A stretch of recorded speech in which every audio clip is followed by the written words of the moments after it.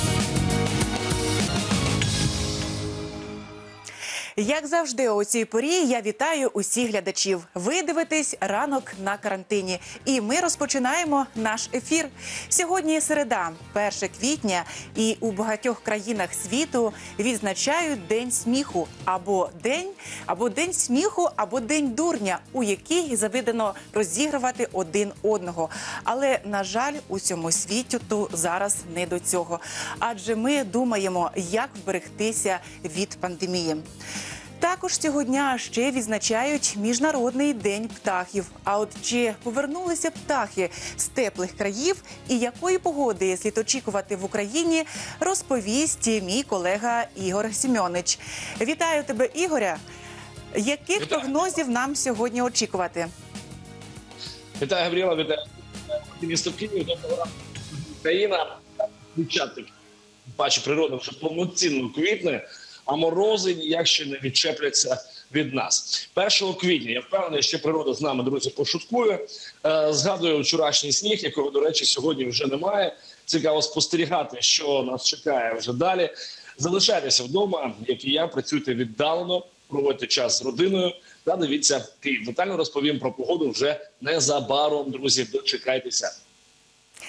Ну а що нового, що нового відбувається у місті? Нам розповість наша наша журналістка Яна Петренко. Вона вже з нами на прямому зв'язку. Яно, доброго ранку. Де ти зараз перебуваєш і про що будеш доповідати? Доброго здоров'я, дорогі наші глядачі! А ми сьогодні вам розкажемо традиційно про транспорт. Також розкажемо, яка ж погода сьогодні буде. Про дезінфекцію зупинок і в якій аптеці можна придбати маски. Тож залишайтеся вдома, залишайтеся з нами і посміхніться. Адже сьогодні 1 квітня. Дякую, колеги. Ми до вас згодом повернемося. Ну а просто зараз переходимо до новин СТН.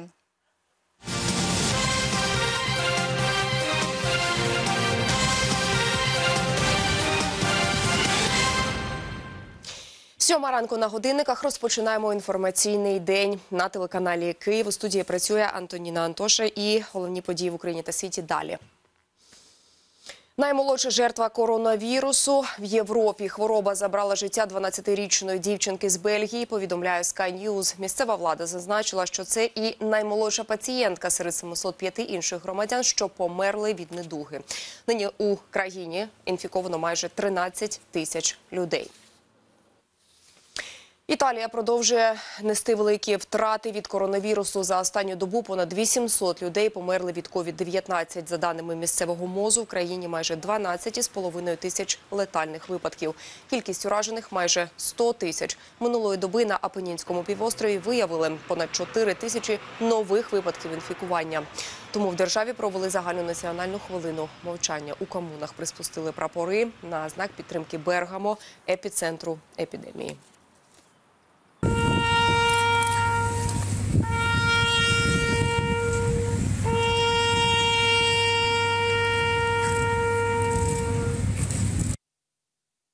Імунітет від коронавірусу у Німеччині хочуть проводити масове тестування людей на антитіла до COVID-19. Позитивний результат такого дослідження буде означати, що людина вже перехворіла і більше не зможе підхопити хворобу сама або заразити інших. Всім, хто пройде тестування, видадуть сертифікати. Вони звільнятимуть жителів від карантинних обмежень у країні. Нагадаю, в Німеччині найменший показник смертності від коронавірусу 775 летальних випадків на майже 72 тисячі хворих.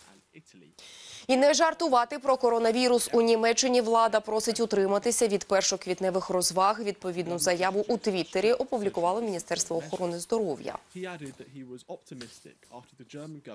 У нинішній ситуації 1 квітня просимо вас обійтися без вигаданих історій на тему коронавірусу. Це зведе до мінімуму ризик того, що боротьба з вірусом ускладниться через невірну інформацію на цю тему. Щодня зростає кількість хворих в Україні. МОЗ уже підтвердило 645 випадків COVID-19. Центр громадського здоров'я повідомляє, від хвороби померли 17 громадян. Одужали 10 із Дніпропетровської, Запорізької, Київської та Чернівецької областей.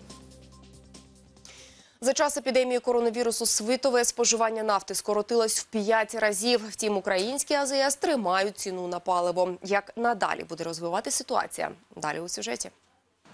Через карантинні заходи все менше людей користуються власними автомобілями. Обмежений рух громадського транспорту та часткове скасування авіасполучення – все це призвело до того, що в середньому за день світове споживання нафти становить 20 мільйонів барелів, тоді як до карантину – 100. Наразі проблема, що постала, звучить сюрреалістично. Сховища переповнені і вже незабаром у світі не буде де зберігати надлишки палива. Однак в Україні ціни поки що не знижуються. Розрібна ціна в Україні вона залежить від двох основних чинників: це е, ціни зовнішнього ринку і власне курс е, гривні до основних валют. До долар розмитнюємо в доларах і множимо на курс національного банку, і потім нараховуємо ще акцизи, які теж зараховуються в євро. Множимо на курс національного банку, складаємо ці дві цифри, додаємо ПДВ і маємо кінцевий На вартість бензину за такої динаміки значно більше впливає виробництво. Проте кон'юнктура ринку зараз така, що ціни на пальне в Європі впали відчутно з початку року на 300 доларів США на тоні. І це потужно тисне і на цінники в Україні. Та все залежить від гривні. Може бути якесь здешевлення ціни в розрізі, але при умові, що Національний банк буде себе вести пристойно і утримувати курс гривні. І він не буде далі полоски. Чому? Тому що ну, на, на 10 доларів на тоні зовнішнього ринку це 20 копійок на літрі, а одна гривня на доларі е, це 87 копійок на літрі. Антимонопольний комітет прогнозує ще більше зменшення вартості на паливо. До прикладу, для марки бензину А95 ціна може впасти на 3-5 гривень. Юлія Терлецька, Ольга Киселевич, телеканал Київ. Безкоштовні потяги для медиків запустила Укрзалізниця. Витрати за перевезення організація бере на себе, повідомили у прес-службі. Аби скористатися транспортом, медпрацівникам потрібно мати з собою службове посвідчення і бути в масці з рукавичками. Розклад руху компанія надасть місцевим владам. Також графік можна уточнити за номером гарячої лінії, який ви бачите на екрані. Продуктовим ринкам дозволили працювати під час карантину. Відповідну постанову за підписом головного санітарного лікаря Віктора Ляшка оприлюднили сьогодні на сайті МОЗу. Влада на місцях має видати відповідні дозволи і водночас суворо контролювати дотримання карантинних обмежень. Зокрема, таких відкрити можна винятково ядки з продуктами. На ринку дозволено перебувати не більше як одному відвідувачу на 20 квадратних метрів торговельної площі. Продавці та покупці мусять використовувати засоби індивідуального захисту і дотримуватись безпечної дистанції. Складно переживає карантинний період бізнес. Якщо монополісти під час пандемії процвітають, то підприємці малого і середнього зазнають катастрофічних збитків. Зіпсований товар та збитки на сотні тисяч гривень щодня у підприємців малої та середньої ланки, бо їх направили примусово на карантин не від тих, хто продавав харчі. Почему вы принудительно закрыли весь малый бизнес и средний бизнес? Тем самым вы не закрыли монополистов, которые до по сей момент работают, зарабатывают деньги. Кто вам дал право решать, кому можно торговать, а кому нельзя? Я не спорю, есть карантин, есть это все очень важно и опасно. Давайте ходить в масках, давайте работать в перчатках. Но вы тупо убиваете э, всех бизнесменов Украины. Найбільше кривдових утратили бізнесмени, які реалізовують товар, що швидко псується. Його не продали, але мають за нього заплатити. Кредити маю. У мене дитина після операції платити брала на операцію кредит. Що мені робити? І сижу вже місяць вдома. Мені за них не платять, мені государство ж не помогло на дитину. Мені мусово щось робити. І фірмам віддати гроші, і жити за щось. Обурення підприємців викликає і перелік визначених товарів першої потреби. Почему вы решили, что именно еда и только туалетная бумага является м, средством первой необходимости? Скажите, пожалуйста, если я пробила колесо, где мне купить шину взамен? Разве машина не является средством первой необходимости для, для покупок? Із такої патової ситуації підприємці намагаються вийти як можуть, доставляють товар, але і тут ідуть в мінус. Розвозити кажуть по к- квартирам, по, по замовленню. От там подзвонить, ну одну пачечку мені редисочки. Я поїду за ту одну пачечку редисочки, бігати по цьому під'їзді. Як не стараються, збитки перевищують прибуток, хоч і на час карантину звільнені від сплати за приміщення. Але комірне ніхто не скасовував. Почему до сих пор не отменили коммуналку? Ни один пенсионер страдает. Как быть молодым семьям, у которых двое детей, которые живут на съемной квартире, и который муж пришел с работы и говорит, а меня отправили за свой счет. И вы прекрасно знаете, что большинство отправляет за свой счет, не оплачиваем. За что людям жить? За прогнозами самих підприємців середньої ланки на плаву їхній бізнес такими темпами протримається не більше як місяць. Ольга Киселич, Олександр Степанов, телеканал Київ. Карантин карантином, а дитині потрібні прогулянки. Молодий батько з Шанхаю винайшов капсулу безпеки для двомісячного сина. Винахід фільтрує повітря, вимірює кількість вуглекислого газу всередині і за потреби закривається герметично. Е, На майстрування капсули чоловік витратив місяць. Зробив її з переноски для кота. Мати дитини спершу сумнівалася, що винахід безпечний. Однак після кількох прогулянок переконалася, син на вулиці і справді захищений. Я люблю фільми та ігри пов'язані з наукою. Створенням капсули я надихнувся у комп'ютерній грі Death Stranding. Вона про виживання в постапокаліптичні часи. Тож ідею капсули я взяв саме звідти. Коли не можна, а дуже хочеться. Британець замаскувався під кущ, аби прогулятися безлюдними вулицями міста. Виходити на двір без нагальної потреби у Великій Британії не можна. Там діють карантинні обмеження. Тож, аби обійти правила, чоловік вирішив вийти на прогулянку непоміченим. Але план не вдався. Короткі перебіжки людини куща зі свого будинку зняли на відео сусіди чоловіка. Наразі це вся інформація. Більше новин у нашому наступному випуску вже за годину. Дочекайтеся.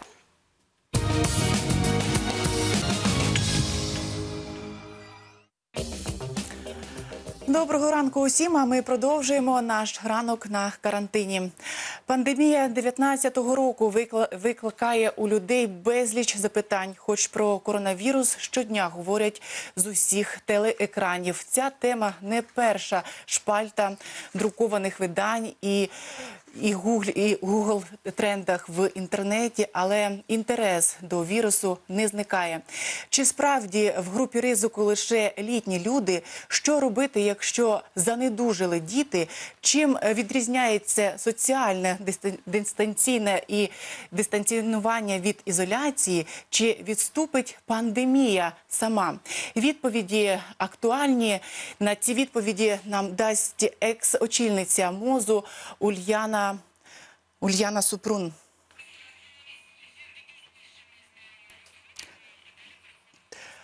Так, е, ми трішки пізніше з нею узгодимо, а далі ми переходимо до скайпу. Мені підказують наші редактори.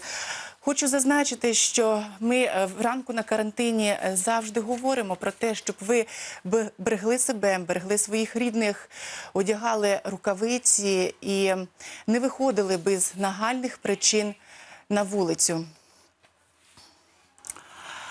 Е, Ми е, хочу сказати, що е, телеканал Київ також турбується про усіх своїх працівників, і, і навіть ви вже помітили, що Ігор Сімьонич він також розповідає прогноз погоди з дому.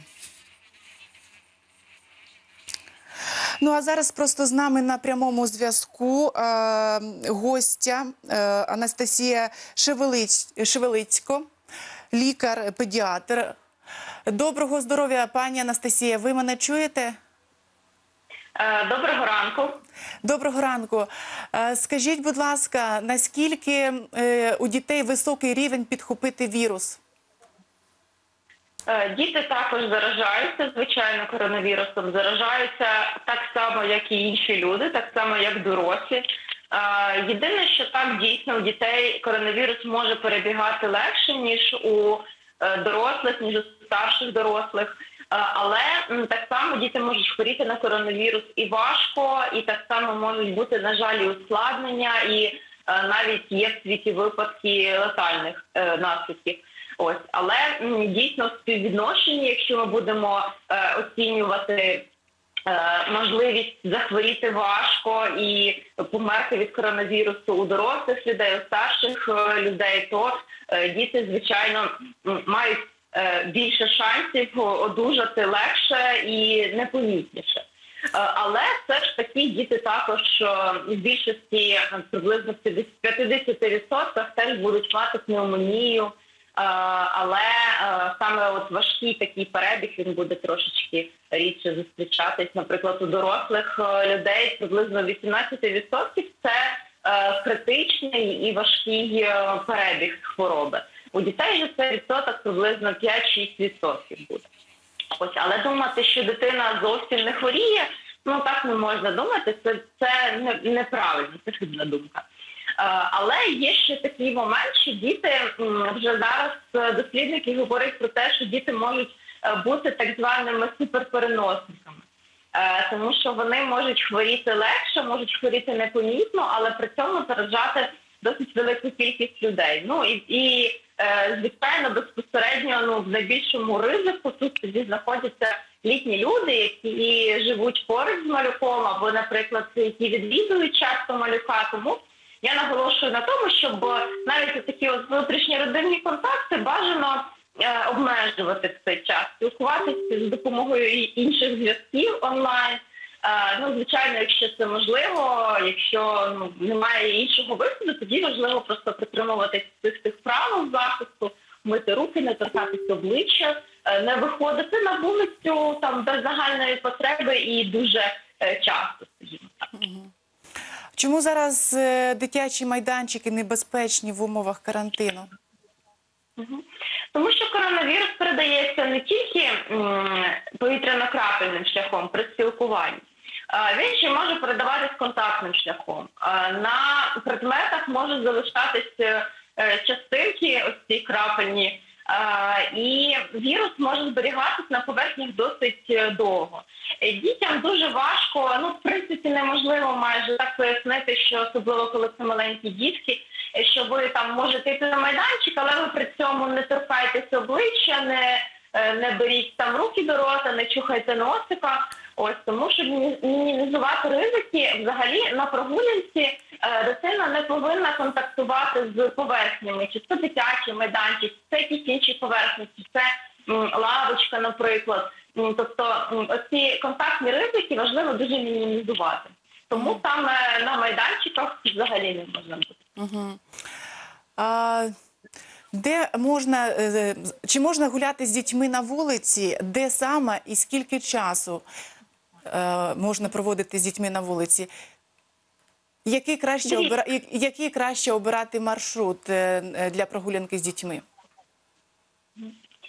Дивіться, е, все ж таки на даному етапі ми можемо на деякий час там виходити з дитиною на вулицю, але дуже важливо зберігати правила безпеки. Що це означає? Перше, коли ми виходимо з будинку, так дійсно ми можемо або одягнути е, рукавички і на дитину, також і на себе. Не їхати в будь-якому разі в ліфті з іншими людьми, тому що в багатоквартирних будинках ми знаємо, що там ми спускаємось і може нас викликати хтось інший. Ми вічливо говоримо людям, що вибачте, ми, ми спустимось, тоді ви поїдете. Тобто уникати абсолютно соціальне дистанціювання це один з найкращих методів запобігання поширенню інфекцій. Е, Тобто не перебувати в закритих просторах разом з іншими людьми. Е, Коли ви виходите, ви повинні теж оцінити ситуацію на вашому входовому майданчику, чи не виходять сусіди, наприклад, в цей момент, почекати, якщо ви бачите, що хтось є, і вже тоді виходити. Далі не торкатись е, не торкатись е, максимально кнопок е, ліфта, там кнопок домофону. Можна використовувати ну знову ж таки або рукавички, або е, ну банально серветку. Потім ми виходимо і серветку викидаємо. Далі, коли ми вийшли з під'їзду, з будинка, вже тоді ми можемо обробити, важливо обробити руки антисептиком і собі, і дитині, і зробити це якісно. Тобто не просто ми там трошечки чикнули на ручку і, і розмазали. А, Ми гарно протягом так само те саме діє правило, як і при а, митті рук з милом, гарно, гарно всі поверхні проробляємо. Це буде десь приблизно м, 20 секунд, не менше 20 секунд. Ми дуже ретельно миємо, ну, якщо це можна так назвати, з антисептиком ми обробляємо ручки дитинці і е, собі відповідно. І вже далі ми, в принципі, можемо прогулюватися. Який маршрут ми обираємо? Ну, перш за все, е, якщо є така можливість, я наголошую на тому, щоб обирати е, безлюдні маршрути. Тобто, якщо у людини, наприклад, є автомобіль, можна сісти кудись від'їхати за місто. Але знову ж таки, навіть якщо це свіже повітря, то ми не збираємось компаніями, незалежно від того, чи ми на вулиці, чи ми вдома. Можна заразитись на вулиці також при, при контакті. Тому е, дотримуємося оцієї соціальної дистанції. Е, відстань між вами і іншими людьми має бути не менше ніж півтора метри постійно. Е, Ні в якому разі не можна заходити з дитиною в магазин, в аптеку, тобто в інші якісь заклади. А Ви ну, обираєте інші шляхи вирішення цієї проблеми. Хтось з е, інших членів родини ходить до магазину. Чи якщо ви, наприклад, з двох дитиною живете, е, попрохайте сусідів, попрохайте якихось знайомих, е, щоб мінімізувати ці ризики, тому що ви, коли йдете в магазин, ну вам легше дотримуватись цих правил, так не торкатись до обличчя, е, не облизувати руки і, і таке інше. А, далі, на відкритому просторі нам не потрібно носити масочку. Тобто можна без маски абсолютно гуляти нормально. Але ж е, тут такі на відкритому просторі теж е, соціальне дистанціювання працює. Ви не спілкуєтесь ні з ким, ви не збираєтесь групами. Ось, в принципі, ну такі правила, і якщо їх притримуватись, то можна залишитися здоровим. Дякую вам за розмову. Я ж нагадую, ми наживо спілкувалися з лікарем-педіатром Анастасією Шевелицькою. Погода у перший день квітня, схоже, вирішила пожартувати з українцями. Вночі вона показала зовсім не весняний характер, а навпаки, зимовий. Що ж, схоже, зима і ще прочувається і додає нам до карантинних нелегких часів ще й морозу. Хоча в день синоптики нам обіцяють до 7 градусів тепла. А от яка зараз погода на вулиці, вже знає наша Яна Петренко. Тож, Яно, привіт! Яка погода наразі за вікном? Е- і за твоїм відчуттям. Вітаю.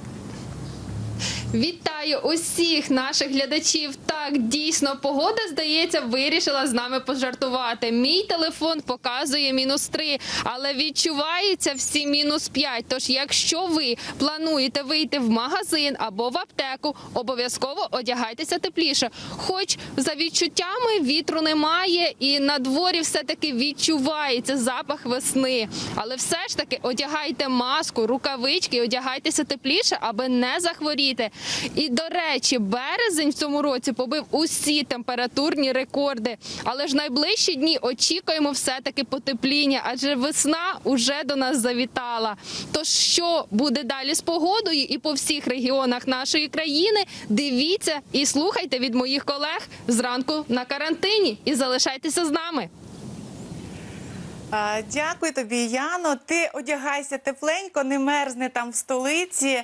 Ну а ми, звичайно, продовжуємо наш ранок на карантині. І саме у ранку на карантині ми обговорюємо усі найактуальніші теми міста та світу. Ну а просто зараз е, ми маємо дізнатися, якої ж погоди слід очікувати у столиці та в Україні. І про це нам розповість мій колега Ігор Сімьонич.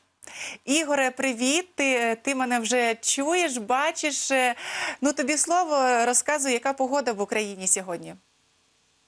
Доброго ранку, Габріело. Ну що ж, дійсно, сюрпризів е, слід чекати і сьогодні. Друзі, детально треба розбиратися з цією ситуацією, бо квітень, квітень, напевно, все ж таки жартує. Дивіться уважно, просто зараз.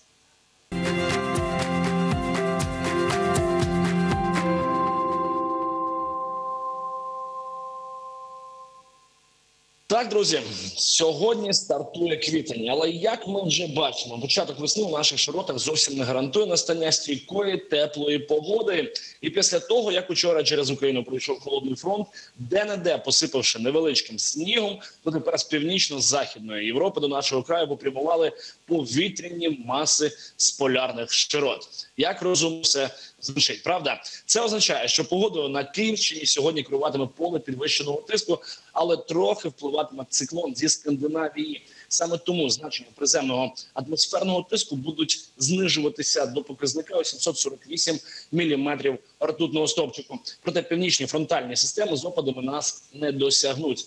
Ранок має чисте небо та впевнено з'являється сонечко, яке прокинулося сьогодні о 6.36. Але в день хмар побільше. Вітер сьогодні західного напрямку, помірних швидкостей. Відносна вологість буде 40-55 відсотків.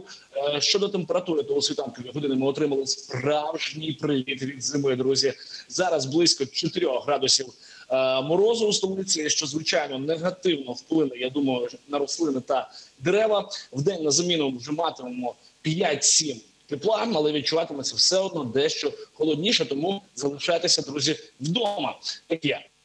На околицях міста у віддалених куточках спальних районів, таких як Святошинський, Голосівський, Деснянський та Дарницький, ранкові мінімуми температури можуть бути ще на кілька градусів нижчими, але е, адже тут менш щільна забудова та вулиці краще провітрюються. Ну а в Україні 1 ж квітня холодна погода без опадів. Вітер переважає західного напрямку зі швидкістю до 12 метрів на секунду. Температура перед сходом сонця дещо вражає. Вона в межах 3-8 градусів морозу. Хоча в день все ж таки весна е, відновить свої показники у 3-8 градусів тепла. Більша частина Європи перебуває зараз під впливом антициклонального поля, що обумовлює суху погоду, але з морозним ранком, адже арктичне повітря поширилося майже на весь континент. Лише над південними регіонами тепліше, але там декілька циклонічних систем принесли дощі, а у бакландських країнах знову добряче сніжить.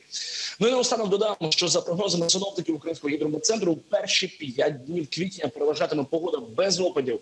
У четвер вночі ще буде мінус, але далі температурний фон підвищиться, бо арктичне повітря поступово втрачатиме силу, і у денні години стопчики термометрів покажуть близько 10 тепла. Але не забуваємо про мінливість весняного тепла е, і, взагалі, весняної погодки, вітряний характер квітня та. Уважно слідкуйте за оновленими прогнозами на телеканалі Київ. Адже ранок на карантині триває. Нагадаю, що спонсор програми Холдинг Атлант повний спектр охоронних послуг. На завершення, як завжди, традиційно бажаю мати більше сонечка у вашому серці. Залишайтеся вдома. Дивіться Київ, як я на карантині сиджу вдома та звітую саме для вас. Працюйте віддалено і передавайте привіт Габріелі та всій нашій студії. А я передаю слово саме Габріелі. Дякую тебе, тобі, Ігоря. Дійсно, залишайтеся з нами і дивіться ранок на карантині.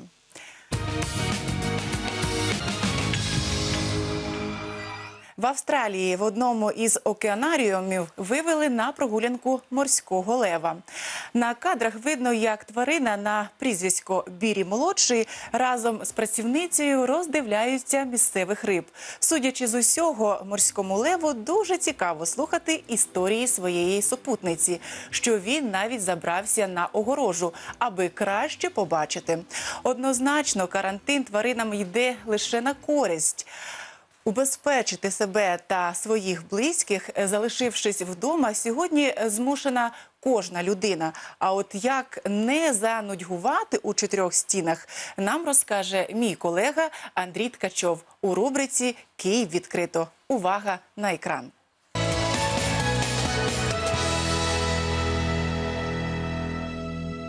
Вітаю, друзі! Мене звати Андрій Ткачов. Це проект Київ відкрито. Сьогодні раджу вам трохи більше посміятися. Джем, до вашої уваги підбірка найулюбленіших комедій. І почнемо із фільму про ну дуже вже професійних в лапках поліцейських Мачо і Ботан. Цього разу у хлопців непросте завдання, адже їм прийдеться скинути 10 років або ж 10 кілограм та повернутися до шкільної парти для того, щоб викрити злочинність. І тут буде одне але, адже хтось зовсім забуде про завдання. І його можна зрозуміти, адже дівчат свята, вечірки, уроки математики. Що ж може бути краще? Я обіцяю, будемо суперпрофесіоналами. Наступний фільм Похмілля в Вегасі. Це історія про те, як потрібно відпочивати. Порин О, да, да, да.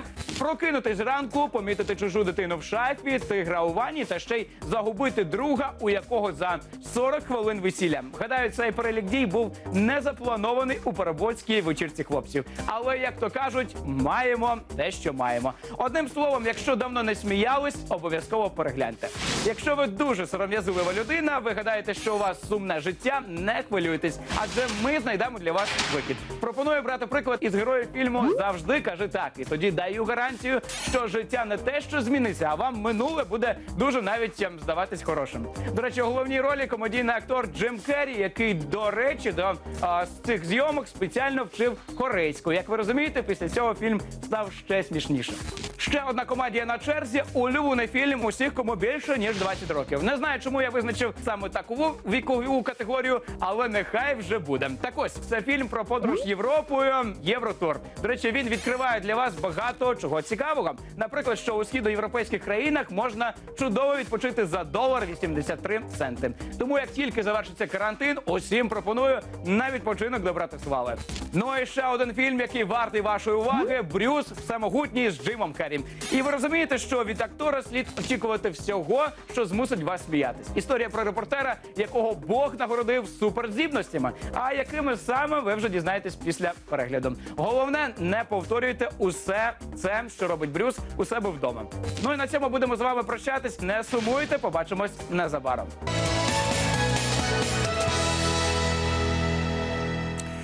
Кількість смертей від COVID-19 у Франції перевищила 3 тисячі людей. Офіційні дані оприлюднили у Міністерстві охорони здоров'я країни. Найбільш постраждалими у Франції є Іль-де-Франс або Паризький регіон. Там пік епідемії очікують на поточному тижні. Про те, які настрої у французів нині, нам розкаже Олександр Гейфман. Він парижанин. Доброго здоров'я, пане Олександре. Добрий ранок. Чи маєте останні дані, е, скільки нині інфікованих е, на коронавірус у Франції? Э, д- Записал э, в э, э, 44 550. И из них умерло 3024, и за последние 24 часа 458 человек. Цифри звичайно лякають. Які заборони нині діють у країні? Чи не збираються ще більше посилювати заборони? Э, Ну, насчет этого это сложно сказать, потому что это вс- всегда как-то приходит неожиданно. Вполне возможно, что и еще будут э, больше ограничения. Э, Но на самом деле этот карантин вот уже продлили до 12 апреля. Сначала его объявили на две недели. Э, И какие, в общем, ограничения? То, что э, вся страна сидит на карантине, э, мо- можно выйти за покупками, можно выйти в, аптеку за покупками первой необходимости, ну, можно выйти. Потом можно выйти за- заняться спортом, но индивидуально, не группами, а индивидуально. И это в течение одного часа и на расстоянии одного километра от дома. Ну, еще можно пойти на работу, но для этого должна быть справка, или э, пойти ухаживать там за больным, или к врачу. В общем, э, есть несколько пунктов. И для того, чтобы выйти, там каждый француз э, себе выписывает такую справку, ее там можно печатать. Вот я пишу от руки, Э, вот она такая, где ты объясняешь, по какой причине, э, куда ты идешь, и, и ставишь число и дату. В общем, такие ограничения. И все сидят по домам и развлекаются как могут. Угу. А скажіть, е, якщо ось г- громадяни е, Франції виходять на вулицю, чи вони себе убезпечують? Е, Вони в масках, в рукавицях? Як вони ходять по, по вулиці, якщо е, є на те причина вийти? Ну, на, на самом деле, с самого начала была нехватка масок. И сейчас маски, даже вот я вчера прочитал, что маски как бы изъяли из продажи, и всю, всю их а, отдали врачам и людям, которым это необходимо. И зд- здесь это объясняет, что носить ма- маску э, лучше тому человеку, который заболел, а тот, который еще не болен, это ему не помогает. И поэтому это как бы не обязывает людей носить маски. Но люди в магазинах, все, э, работники магазинов, работники аптек, они все носят маски. И многие полицейские тоже носят маски.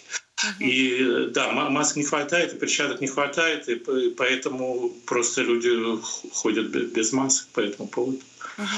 Вот.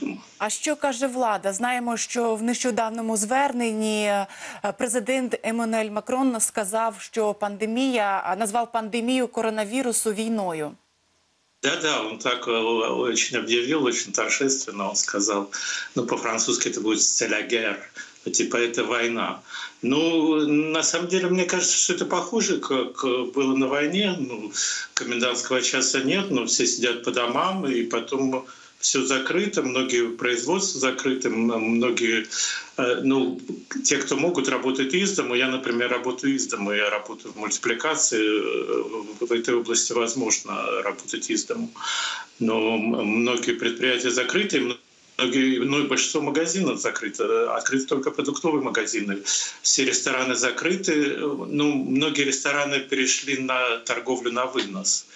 Э, Вот. И все сидят по домам, и будет, наверное, большой экономический спад. Э, В общем, э, мне это напоми- напоминает, и я, к к счастью, не пережил войну, но я думаю, что во время войны что-то похуже происходит. Ну, к- конечно, похуже, чем сейчас, но Ну в принципе, будемо сподіватися, що все наладиться у світі, всі будуть здорові. і, е, Ця пандемія зникне. Е, Я вам е, дякую. Нагадую, що з нами на прямому зв'язку був Олександр Гейфман. Він розповів нам про карантин у Франції. А чи знали ви, що в світі нараховують сотні єдиноборств? Один від одного їх відрізняє техніка, стиль і навіть традиції та країна походження. Втім, загалом єдиноборства можна поділити на ударні та броскові. А от фігурист-тренер Даниїл Семко винайшов ще один стиль єдиноборства. Увага на екран. Коничева, мои маленькие друзья, с вами снова я, и сегодня у нас противовирусное единоборство. И начнем мы с дыхательной гимнастики. Приготовились. Глубокий вдох носом и фу, резкий выдох ртом. И... Фу! Фу! Продолжаем. Дальше мы отталкиваем вирус. Из нашего дома. Из нашей семьи. Из нашей страны. Все вместе. Фу! Фа! Фу! Ха! Уходи! Фу! И заключительное упражнение. Мы пинаем вирус. Пинаем его. Пинаем!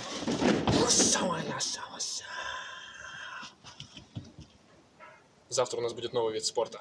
А пока оставайтесь дома, слушайтесь родителей и мойте руки с мылом. Аригато. Ну, ось так. е, Бачите, такі поради єдиноборства, як можна себе розважити. Ну і звичайно, е, всі остальні люди можуть подивитися і щось взяти собі на примітку. Під час е, карантину всі зірки припинили свою діяльність. Вони залишаються вдома і закликають інших бути такими ж від, е, відповідальними. Відомо, що е, відома танцівниця Ілона Гвоздьова не втрачає оптимізм та проводить карантинний час у родинному колі. А її маленька донечка Рія із задоволенням долучається до активних розваг із мамою. Всем привет! Меня зовут Илона Гвоздева. Я хореограф-постановщик и танцовщица телевизионных проектов. И в силу своей профессии я достаточно часто езжу в командировки, очень активно общаюсь в социальных сетях и так э, с разными людьми. Но в условиях нашей сегодняшней ситуации и в условиях карантина у меня есть замечательная возможность провести это время с пользой для себя и со своей семьей. Давай потихонечку рисуем, аккуратно. Мамуля проверит потом. Моя умничка, давай, давай будем заниматься. Доченька, Она умничка, мы время зря на карантине не теряем, мы растягиваемся. Мамы, кому интересно, обязательно пишите мне в директ. Я буду записывать видео и делиться своими советами по растяжке и урокам для деток, да, Жучок?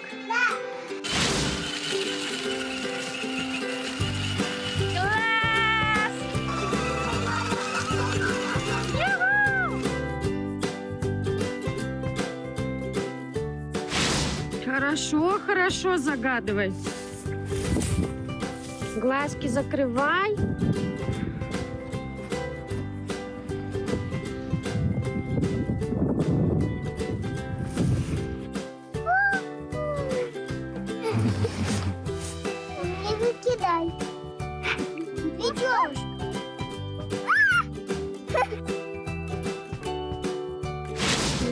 Доченькой есть отличная возможность э, выходить на ежедневную пробежку, также ловить рыбу, прыгать на батуте, кататься на машинках.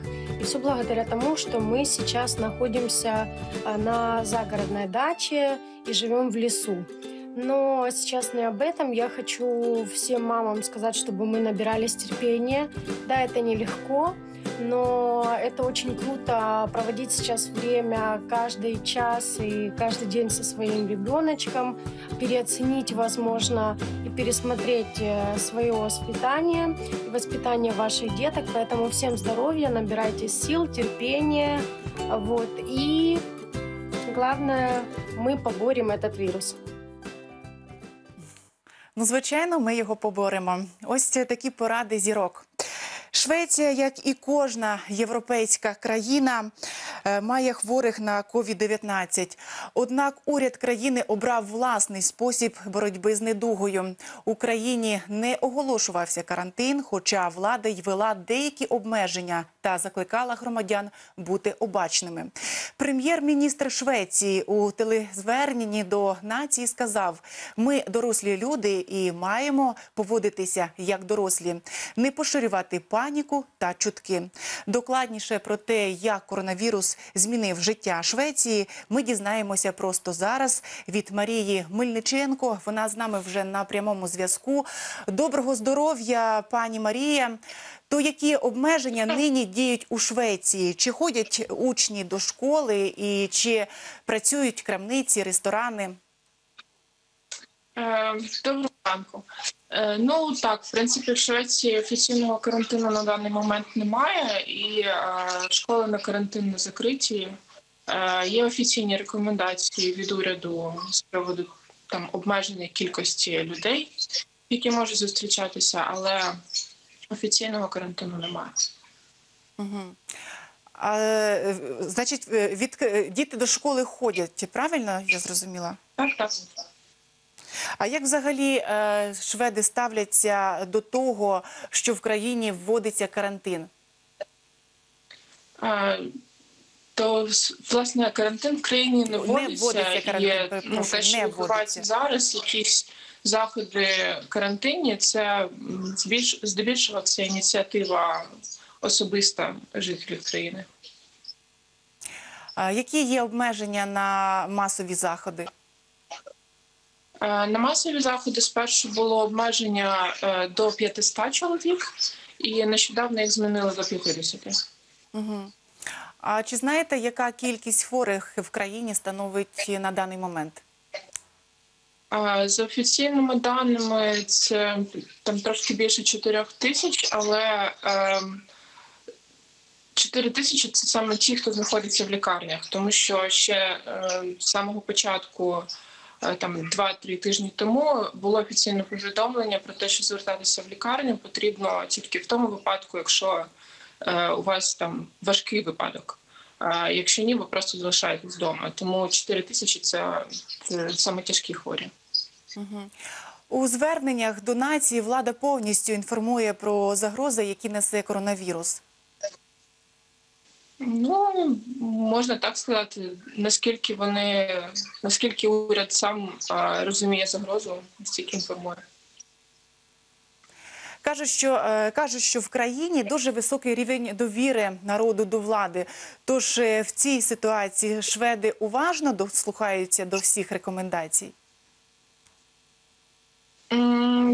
Важко сказати, тому що мені здається, що розділилися е, думки з цього приводу, і почались дебати в соцмережах, і е, весь час в новинах можна читати про те, що люди сперечаються наприклад, як варто себе поводити. Пару тижнів тому, коли е, тобто офіційного карантину не було, але більшість компаній перевело своїх співробітників на дистанційну форму роботи, е, і багато людей цим скористалися і там поїхали кататися на лижах на північ Швеції. А знову ж таки наближається е, Великдень і Великодні свята, і також люди е, обговорюють, чи слід подорожувати. Тобто е, є частина людей, які використовують карантин як час для своєї сім'ї і для того, щоб кудись поїхати в межах країни. А є ті, хто дотримується якихось карантинних заходів і засуджують, е, звісно. Угу. А чи носять шведи маски, рукавички? Ну я здебільшого якраз сижу вдома, але е, переважно потрібно виходити все одно в магазин купувати продукти. І з того, що я бачу, ще я, мабуть, нікого не бачила ні в масці, ні в рукавичках. У мережі пишуть, що три тижні тому, хоч в країні й не було е, карантину, але шведи розкупили увесь туалетний папір. Чи правда це? Правда. Це якась інтернаціональна проблема. Так. Е, так. Дякую вам е, за розмову. Нагадую, з нами на прямому зв'язку була Марія Мельниченко. Говорили про нинішню ситуацію в країні Швеції. Covid-19 – вірус, який в світі вбив вже понад 30 тисяч людей, змінив багато аспектів, пов'язаних із життям і навіть зі смертю. Так, у багатьох країнах, де найбільше загиблих від хвороби, заборонили традиційні ритуали поховання і скорботи. Незалежно від того, яка культура чи релігія в країні.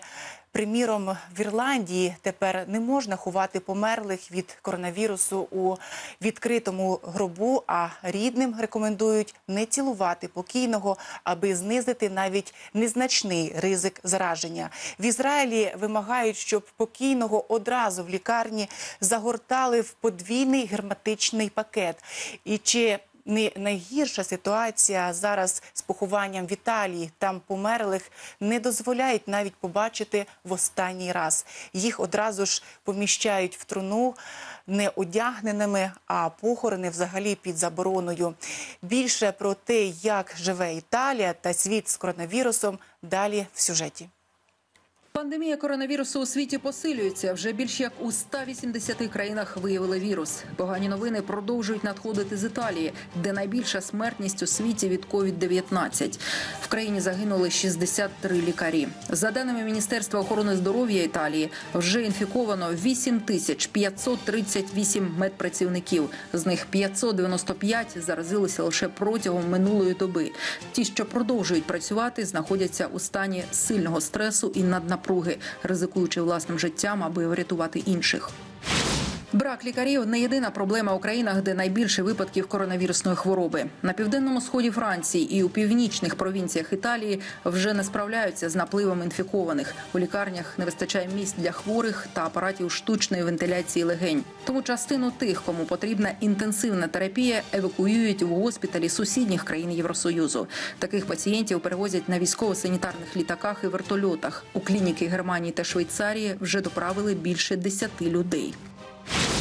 Аби хоч якось призупинити поширення коронавірусу в Італії, влада країни подовжила режим жорсткого карантину іще на два тижні. В мережі з'явилося шокуюче відео з Мілану, який немов помер. У місті, зазвичай наповненому туристами і місцевими жителями, лякаючи порожньо.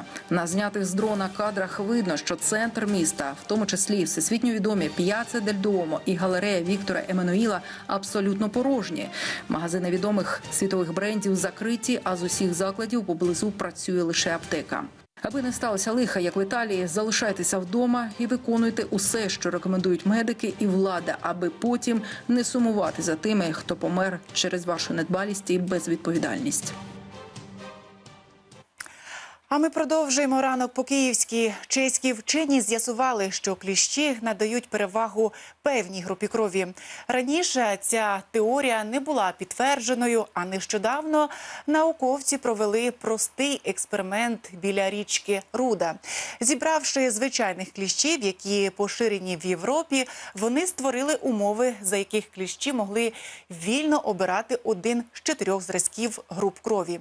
І з'ясувалося, що кліщі віддають перевагу другій групі крові. На жаль, через теплу зиму і ранню весну в нашому місті активізувалися кліщі. А от як про те, як від них вберегтися, дізнавався наш журналіст Андрій Нєшин. Увага на екран. Вони прокинулися раніше ніж завжди. Киянка Альона перших двох кліщів зняла із своєї чотирирічної собаки Бусі вже тиждень тому. Жінка гуляє із песиком двічі на день. І щодня прогулянка завершується поверхневим оглядом себе і собаки. Закрываем все максимально, чтобы не было просвета, потому как они из деревьев падают и в траве, и уже сейчас их очень действительно много. То есть на животных по 5, по 10 штук иногда после прихода с улицы. Я и на себе их снимала. Кстати, с собаки легче снимать. Он легко выходит пинцетиком, его просто надо повернуть, и он выходит легко. Ну, такая структура э, кожи у у них легче выходит, из себя тяжелее. Проте лікарі не радять самостійно пінцетом видаляти кліща. А каролог Ігор Небагаткін все своє життя професійно досліджує кліщів. каже, цьогорічне раннє пожвавлення цих павукоподібних це наслідок відсутності сніга, морозів і теплої весни. Зоологічна класифікація налічує понад 4 тисячі видів кліщів. Аби перевірити наявність кліщів у траві, достатньо взяти білу тканину, провести нею по траві. І от ми вже когось піймали. Пане Ігорю, кого ми піймали? Що це за кліщ? Це ви піймали кліща, який називається шкуроріз. Да. Він е, переносить в основному тулеремію, е, небезпечну для людей хворобу, особливо небезпечну, і піроплазмоз для домашніх тварин. Також за 10 хвилин ми впіймали ще пару десятків різних видів кліщів, які переносять хворобу лайма, бареліоз та енцефаліт. За минулий рік в Україні зареєстровано майже 5 тисяч випадків укусів різноманітних кліщів, більше тисячі з яких припадають на столицю та Київщину. Кліщі живуть в ґрунті, в самому ґрунті. Да? І маленькими порціями виходить е, на поверхню для того, щоб поживитися. Живляться всі стадії виключно кров'ю. Саме час згадати правила на природу виключно в закритій одежі. Брюки заправляти взуття, користуватися репелентами. Ваших домашніх собак виручать спеціальні нашийники та спреї. А в аптеці чи зоомагазині можна придбати спеціальний гаджет кліщесмик. Їм можна правильно дістати кліща. А столичні парки, сквери та лісові господарства оброблятимуть через спеціальні пульверізатори лише через пару тижнів. Тож зараз, після прогулянок, треба ретельно оглядати себе і ваших домашніх тваринок. Зазвичай за 2-3 дня до початку обробки ми е, оголошення пишемо, вивішуємо на деревах. Зазвичай е, оголошення в інтернет-сайтах, на Фейсбуці, у групах, там де люди спілкуються саме з цього е, парку, з цієї території. Лікарі радять, якщо вже й знайшли на своєму тілі кліща, то не діставати його самотужки підручними способами. Тим паче, якщо ви не знаєте, як робити це професійно, не слід поливати його рослинною олією чи застосовувати інші поради, які пишуть в мережі інтернет. Краще звернутись до лікаря. А ранок по-київськи бажає вам міцного здоров'я та не хворіти. Кажуть, що ремонт це не процес, а стан душі, і що його можна тільки припинити, а не завершити. І якщо ви в довгу шухляду відклали створення нового обличчя для вашого помешкання, то зараз саме час для того, адже ви на карантині і вдосталь у вас часу, часу можете братися до роботи з однією умовою. Будівельні матеріали нині придбати ніде, бо всі будівельні магазини зачинені. Тож як обійтися тими засобами, що є під рукою, нам розкаже Олеся Переп'ятенко, співзасновниця архітектурної будівельної майстерні. Доброго вам здоров'я, пані Олесю. Доброго ранку. Насам... Бачите? І я вас рада бачити. Насамперед хочемо запитати, чи можна якось перепланувати кімнату і зробити робоче місце е, для е, на віддаленні? Адже якраз зараз доречно всі працюють е, вдома на карантині. І так, якщо ми обговорюємо вами облаштування робочого місця, то якщо минулого разу наша зустріч була присвячена е, таким моментам, як руйнуй, склей, малюй, то цього разу поговоримо про створення форм. Що я маю на увазі? Для робочого місця нам могли би знадобитись якісь полички для того, щоб розкласти певні речі. Е, Я пропоную зібрати усі коробки з вашого фірмового взуття. Вони і стануть нашими красивими рівними формами. І над робочим місцем можна створити якусь певну композицію, зв'язати ці коробки, склеїти разом і закріпити. В ідеалі задати їм одного кольору, щоб вони були, наприклад, монохромні або яскравою плямою. Е, Також можна було би використати для створення форм те, що в нас є, ми говорили, замісити е, міцно тісто сольоне, е, мука, водичка і багато солі. І це буде нашою основою для скульптурування. Далі нам знадобиться звичайна качалка або скалка. Я перепрошую, я вас трішки переб'ю. У нас здається, е, є картинки. Я попрошу наших режисерів вивести на екран саме коли ви будете розповідати. Так, а ви розповідайте. Е, Отож, я, е, мабуть, що закінчу спочатку вже про скульптурування. Ага, в даному випадку ми говоримо про руйнуй. Тобто, якщо обідрати стару штукатурку, оголити цеглу, то ми зможемо отримати ось такий автентичний вигляд. І далі дооформити робоче місце різними деталями, букетами, е, рамками там, і так далі. Ключове тут руйнуй, обдерти стару штукатурку. Для цього знадобиться всього-навсього молоток, і я думаю, в кожної людини це є. Щодо даної картинки, може бути щось зміна? Так, так. Чи можна змінити картинку? А, покажіть, будь ласка, режисер, далі картинку. Так, є. Так, якщо я зараз не бачу наступної картинки, тому ага, знову ж таки тематика руйнуй. Можна залишити залишки старої фарби, і тоді ось така, здавалось би, непримітна стіна за допомогою красивих меблів, букету і так далі буде виглядати досить вишукано, скульптурно. І при цьому, як ми з вами розуміємо, багато грошей на це не потрібно. А якщо точніше, то гроші взагалі не потрібні. Тільки творчість і цікавий альтернативний якийсь підхід. Ми чуємось, студія? Так. А... е, Скажіть, будь ласка, а от щодо балкону, е, як е, можна там змінити дизайн? Так, якщо ми говоримо про балкон, який є, ну ми використовуємо як місце для відпочинку, а зараз у карантин особливо було би потрібно мати місце для відпочинку, то можна туди винести декілька стільців. Можна винести туди спортивне якесь знаряддя, прикрасити багато зелені, щоб там було, і це було б таке зручне місце для відпочинку, для прогулянок. Можна було б діяти таким чином. Побільше відкривати віконечка, щоб заходило свіже повітря, сонечко.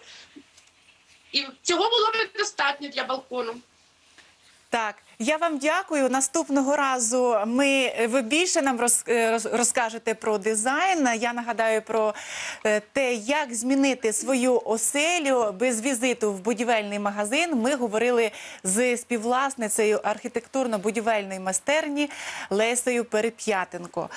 Ну а просто зараз вже час дізнатися, е, які новини в Україні та світі, і вам розповість моя колега Антоніна Антошенко.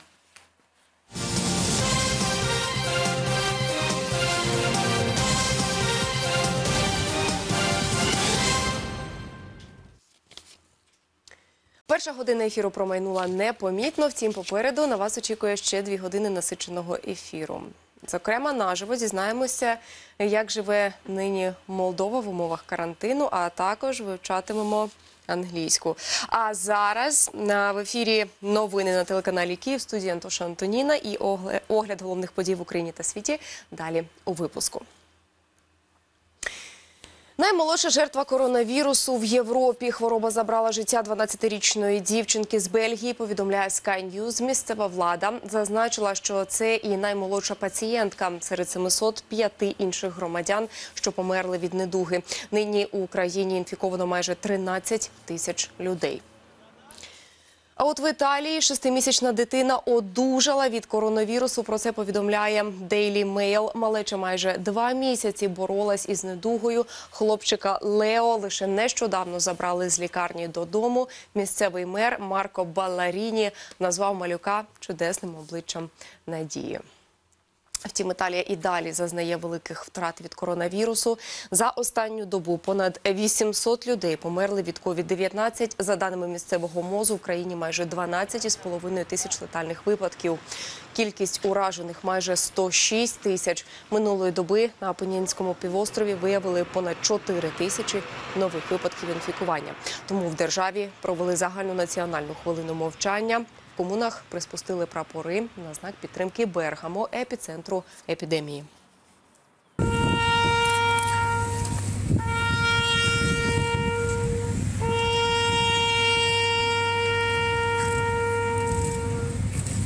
Імунітет від коронавірусу у Німеччині хочуть проводити масове тестування людей на антитіла до COVID-19. Позитивний результат такого дослідження буде означати, що людина вже перехворіла і більше не зможе підхопити вірус сама або заразити інших. Всім, хто пройде тестування, видадуть сертифікати. Вони звільнятимуть жителів від карантинних обмежень у країні. Нагадаю, в Німеччині найменший показник смертності від коронавірусу 775 летальних випадків на майже 72 тисячі хворих. Не жартувати про коронавірус. У Німеччині влада просить утриматись від першоквітневих розваг. Відповідна заява з'явилась в твіттері Міністерства охорони здоров'я країни. У нинішній ситуації 1 квітня просимо вас обійтися без вигаданих історій на тему коронавірусу. Це зведе до мінімуму ризик того, що боротьба з вірусом ускладниться через невірну інформацію на цю тему. Щодня зростає кількість хворих в Україні. МОЗ уже підтвердило 645 випадків COVID-19. Центр громадського здоров'я повідомляє, від хвороби померли 17 громадян. Одужали 10 із Дніпропетровської, Запорізької, Київської та Чернівецької областей. За час епідемії коронавірусу світове споживання нафти скоротилось в 5 разів. Втім, українські АЗС тримають ціну на паливо. Як надалі розвиватися буде ситуація? Дивіться у сюжеті.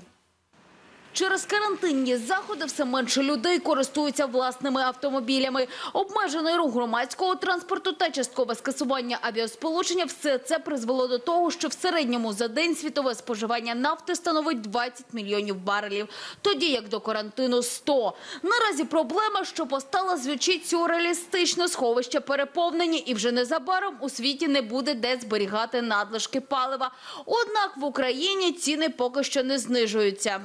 Розрібна ціна в Україні вона залежить від двох основних чинників: це е, ціни зовнішнього ринку і власне курс е, гривні до основних валют. До долар розмитнюємо в доларах і множимо на курс національного банку, і потім нараховуємо ще акцизи, які теж зараховуються в євро. Множимо на курс національного банку, складаємо ці дві цифри, додаємо ПДВ і маємо кінцевий На вартість бензину за такої динаміки значно більше впливає виробництво. Проте кон'юнктура ринку зараз така, що ціни на пальне в Європі впали відчутно з початку року на 300 доларів США на тоні. І це потужно тисне і на цінники в Україні. Та все залежить від гривні. Може бути якесь здешевлення ціни в розрізі, але при умові, що Національний банк буде себе вести пристойно і утримувати курс гривні, і він не буде далі повзти. Чому? Тому що ну на, на 10 доларів на тоні зовнішнього ринку це 20 копійок на літрі, а одна гривня на доларі е, це 87 копійок на літр. Антимонопольний комітет прогнозує ще більше зменшення вартості на паливо. До прикладу, для марки бензину А95 ціна може впасти на 3-5 гривень. Юлія Терлецька, Ольга Киселевич, телеканал Київ. Від сьогодні лише з електронним або проїзним квитком у громадському транспорті ввели нові правила. Нагадаю, сплачувати за проїзд у транспорті мають навіть ті, у кого є спецперепустки. А після завершення карантину це стосуватиметься усіх киян. Власне, яка ситуація у транспорті наразі знає наш журналіст Богдан Бур'яненко. Він на прямому зв'язку. Вітаю, Богдане. Чи зорієнтувалися пасажири щодо змін правил проїзду? Вітаю студія. Наразі я перебуваю на Троєщині на проспекті Володимира Маяковського. На цій зупинці проходить кілька тролейбусних маршрутів і автобусів. Навіть зараз, коли ось така от е, ситуація, коли транспорту майже ну немає, він обмежений по всьому місту. Однак е, ми поспілкувалися з пасажирами. Частина з них користується уже давно Київ смарт-карткою або мобільним застосунком. Однак частина пасажирів все ж таки е, е, купує постійно паперові квиточки. Е, тому така от ситуація. Прошу пряму мову, послухаємо пасажирів. Талончики купляють, да, кондуктора. Ну, з сьогоднішнього дня ж вони ж не працюють, знаєте це? Знаю, що не працюють.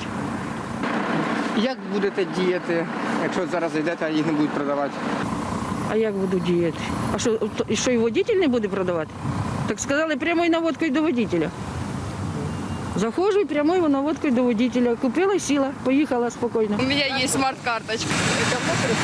Да, давно. Как только начались, прекрасно. Є смарт-карта для е, метро тролейбуса. Якщо там закінчується поповнення, я скачую е, QR-квиток або купляю безпосередньо у метро на одну проїздку. До слова, і я сьогодні е, добирався роботи на автобусі, е, користуюся особисто смарт-карткою. Втім, частина пасажирів купувала звичайні талони, звичайні паперові квиточки. Е, Коли ж столиця повністю перейде на електронний квиток, поки що невідомо. Е, Зрозуміло, що через карантинні обмеження цей час може бути трошки дещо сунутий. Наразі така ситуація. Студія вам слово. Дуже дякую тобі, колего. Я ще раз нагадаю, від сьогодні сплатити за проїзд можна лише електронним або проїзним квитком. Безкоштовні потяги для медиків запустила Укрзалізниця. Витрати за перевезення організація бере на себе, повідомили у прес-службі. Аби скористатися транспортом, медпрацівникам потрібно мати з собою службове посвідчення і бути в масці із рукавичками. Розклад руху компанія надасть місцевим владам. Також графік можна уточнити за номером гарячої лінії, який ви бачите на екрані. Продуктовим ринкам дозволили працювати під час карантину. Відповідну постанову за підписом головного санітарного лікаря Віктора Ляшка оприлюднили сьогодні на сайті МОЗу. Влада на місцях має видати відповідні дозволи і водночас суворо контролювати дотримання карантинних обмежень. Зокрема, таких відкрити можна винятково. Ядки із продуктами на ринку дозволено перебувати не більше як одному відвідувачу на 20 квадратних метрів торговельної площі. Продавці та покупці мусять використовувати засоби індивідуального захисту і дотримуватись безпечної дистанції. Величезна медична маска просто посеред скверу. У Львові з'явилась інсталяція, яка закликає людей користуватись засобами захисту. 3D-малюнок встановили посеред зеленої зони на валах у центрі міста. Маска ніби зависла у повітрі, а над нею напис Одягніть мене, будь ласка. Так автор хотів вкотре нагадати про необхідність захищати свої дихальні шляхи під час пандемії. Карантин карантином, а дитині потрібні прогулянки. Молодий батько із Шанхаю винайшов капсулу безпеки для двомісячного сина. Винахід фільтрує повітря, вимірює кількість вуглекислого газу всередині і за потреби закривається герметично. На майстрування капсули чоловік витратив місяць. Зробив її з переноски для кота. Мати дитини спершу сумнівалася, що винахід безпечний, однак після кількох прогулянок переконалася, син на вулиці і справді захищений. Я люблю фільми та ігри пов'язані з наукою. Створенням капсули я надихнувся у комп'ютерній грі Death Stranding. Вона про виживання в постапокаліптичні часи. Тож ідею капсули я взяв саме звідти. Ну і коли не можна, а дуже хочеться. Британець замаскувався під кущ, аби прогулятись безлюдними вулицями міста. Виходити на двір без нагальної потреби у Великій Британії не можна. Там діють карантинні обмеження. Тож, аби обійти правила, чоловік вирішив вийти на прогулянку непоміченим. Але план не вдався. Короткі перебіжки людини куща зі свого будинку зняли на відео сусіди чоловіка. Наразі це все оновлена інформація в наступному випуску новин вже за годину. Побачимось.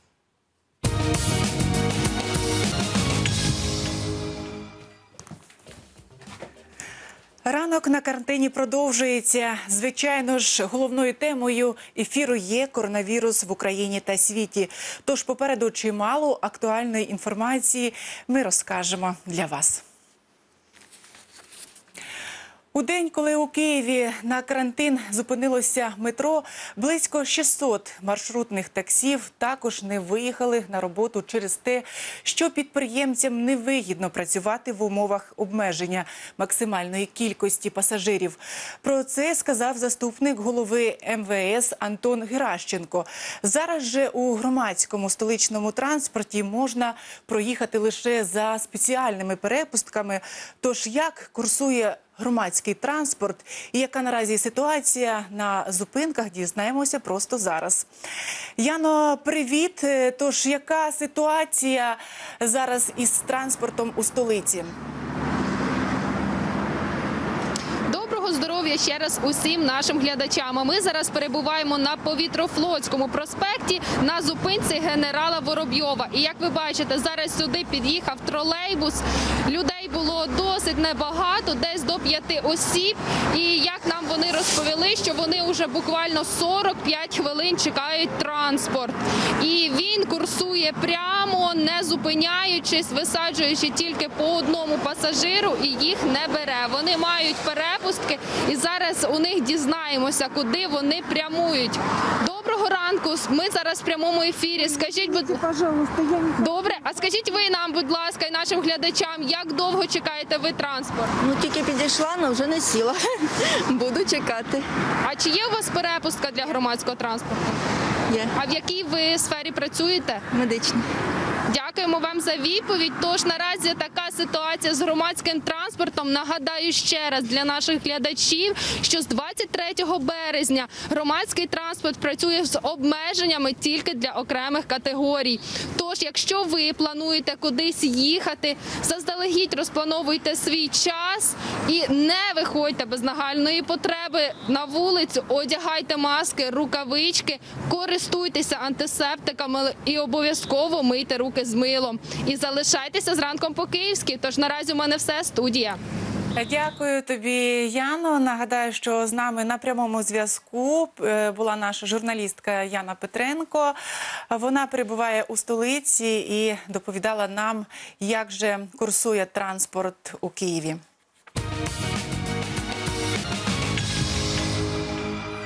У Молдові розгорілась боротьба між православною церквою та чиновниками. Справа у тому, що поки країна намагається подолати вірус, найбільша церква ігнорує елементарні правила гігієни. Зауважу, що лише після того, як зафіксували першу смерть від коронавірусу, церква сказала священникам вдягнути гумові рукавички, а також дезінфікувати ручки дверей у храмах. А вже наприкінці березня ЗМІ Молдови повідомили, що священнослужителів почали штрафувати. Одному з них доведеться сплатити 25 тисяч леїв, близько 39 тисяч гривень. А яка ситуація в Молдові загалом маємо змогу почути від е, Михаїла Багаса. Доброго здоров'я вам, пане Михаїле. Тож е, скільки наразі хворих е, зафіксовано у Молдові? А, доб- Доброе утро, Киев. Э, На сегодняшний день э, в э, Молдове зафиксировано 353 зараженных коронавирусом. А, К сожалению, 4 из них, 4 смерти, из которых одна в Приднестровском регионе, который как бы официально молдавские власти не контролируют. Е, Відомо, що в країні запроваджено надзвичайний стан. Е, Скажіть, е, як, е, як люди е, реагу- реагують е, на це? Чи присутня паніка в країні? А, нет, паники, к счастью, нету. А, введены, конечно, экстренные меры, то есть э, у нас запрещено м, собираться на улице больше трех, У нас запрещено посещать парки, лесопарки, спортивные площадки, детские площадки, то есть это все под запретом. А, запрещено распитие алкогольных напитков на улице. Все это карается, санкционируется штрафом а, от 1100 евро уже довольно-таки есть э, много случаев, когда люди не, не поняли сразу, что необходимо такие меры соблюдать. А пока м, выход на улицу свободен, но а, ограничен, так скажем. То есть полиция не рекомендует и военные, которые патрулируют в городе. А, Закрыты все торговые центры, а, закрыта вся уличная торговля, закрыты рестораны очереди в магазины, потому что одно из требований это соблюдение социальной дистанции минимум одного метра и больше трех людей в магазины не пускают. А так, в принципе, пока еще стабильно. Треть- третья неделя у нас сейчас идет э, карантина. На этой неделе уже вышли, а, так скажем, на каникулы и а, э, чиновники и государственные служащие. А от скажіть, е, громадський транспорт, як, е, як його маршрут? Він е, е, прац- чи, чи курсує громадський транспорт у місті? Да, он э, ездит, но в ограниченно, ограниченно по времени с э, 5.30 утра до 10 а, и с 16.00 до 19.30. А в выходные дни э, еще меньше, то есть он где-то ездит с 7 до 10 и с э, 16 до 19. Плюс к этому на каждой остановке общественного транспорта находится сотрудник полиции либо армии, который э, контролирует количество э, пассажиров э, в транспорте, чтобы только сидячие места были заняты. То есть никаких стоячих ни в автобусах, ни в троллейбусах не ездят. Маршрутные такси-маршрутки. У нас они полностью их приостановили деятельность. Вот так вот. Угу. А скажіть, чи вистачає засобів е, захисту в аптеках, маски, е, дезінфікуючі е, рі- різні? Ну, я думаю, что это была м, проблема всех стран. И на первом этапе, конечно же, не хватало. Маски взлетели в цене. Если они до этого стоили э, 20 евроцентов, то доход- цена доходила и за 2 до 3 евро. А сейчас все стабилизировалось, все местные производства перестроились, то есть если это были какие-то пошивочные цеха, они перестроились на пошив масок, а все производители алкоголя э, перестроились на производство э, санитайзеров. И, в принципе, на сегодняшний день в любой аптеке можно достать, но с ограничением, что в одни руки дают не более пяти масок. По санитайзерам как бы никаких запретов нет. А, Знаю даже, что где-то наши заводы, один из заводов стал шить на экспорт именно в Украину. Угу. Е, І ще останнє питання: як часто е, влада звертається до народу, що кажуть е, засоби е, ЗМІ? Ну, а, в середине чрезвычайного положения а, все СМИ контролируются властью. То есть, э, ну, как де-факто имеет право власть э, говорить им а, или требовать от них, что нужно говорить, но, в принципе, как бы свобода слова, она осталась. А, Власть ежедневно в 9.30 утра министр здравоохранения выступает, в, 15, э, в 17.30 выступает либо министр здравоохранения, либо президент, и в 19.30 у нас э, практически через день э, происходит заседание экстренной комиссии, и э, премьер-министр как глава выступает э, с такими заявлениями. Я единственное, что хотел добавить касательно церквей, то, что вы сказали, Э, санкционировали не одного, а более 140 представителей церкви, потому что на этой неделе около 140 церквей нарушили в церкви. А может проходить служба, но без участия людей. Люди не имеют права входить в церковь, могут стоять лишь на улице и э, на расстоянии одного метра друг от друга. Угу. Я вам дякую.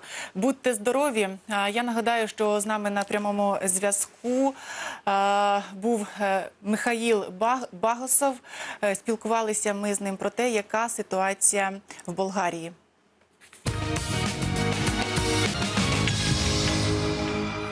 В Австралії в одному з океанаріумів вели на вивели на прогулянку морського лева. На кадрах видно, як тварина на прізвисько бурі молодший разом з працівницею роздивляються місцевих риб. Судячи з усього, морському леву дуже цікаво слухати історії своєї супутниці, що він навіть забрався на огорожу, аби краще всіх побачити. Однозначно, карантин тваринам йде лише на користь. Убезпечити себе та своїх близьких, залишившись вдома, сьогодні змушена кожна людина. А от як не занудьгувати у чотирьох стінах, розкаже мій колега Андрій Ткачов у рубриці Київ відкрито. Увага на екран.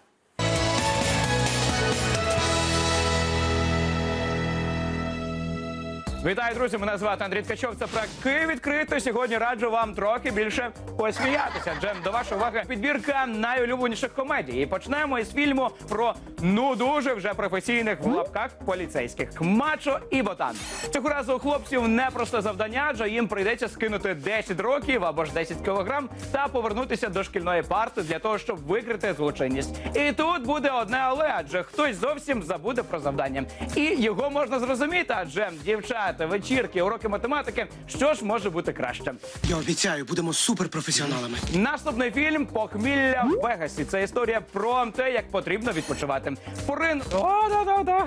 прокинутись зранку, помітити чужу дитину в шафі, тигра у ванні та ще й загубити друга, у якого за 40 хвилин весілля. Гадаю, цей перелік дій був не запланований у перебоцькій вечірці хлопців. Але як то кажуть, маємо те, що маємо. Одним словом, якщо давно не сміялись, обов'язково перегляньте. Якщо ви дуже сором'язлива людина, ви гадаєте, що у вас сумне життя, не хвилюйтесь, адже ми знайдемо для вас вихід. Пропоную брати приклад із героїв фільму Завжди кажи так. І тоді даю гарантію, що життя не те, що зміниться, а вам минуле буде дуже навіть ем, здаватись хорошим. До речі, у головній ролі комедійний актор Джим Керрі, який, до речі, до а, з цих зйомок спеціально вчив корейську. Як ви розумієте, після цього фільм став ще смішнішим. Ще одна комедія на черзі. Фільм усіх, кому більше ніж 20 років. Не знаю, чому я визначив саме таку вікову категорію, але нехай вже буде. Так ось це фільм про подорож Європою. Євротур. До речі, він відкриває для вас багато чого цікавого. Наприклад, що у східноєвропейських країнах можна чудово відпочити за долар 83 центи. Тому як тільки завершиться карантин, усім пропоную на відпочинок до Братислави. Ну і ще один фільм, який вартий вашої уваги: Брюс всемогутній з Джимом Керрі. І ви розумієте, що від актора слід очікувати всього, що змусить вас сміятись. Історія про репортера, якого Бог нагородив суперздібностями, а якими саме ви вже дізнаєтесь після перегляду. Головне, не повторюйте усе це, що робить Брюс у себе вдома. Ну і на цьому будемо з вами прощатись. Не сумуйте, побачимось незабаром.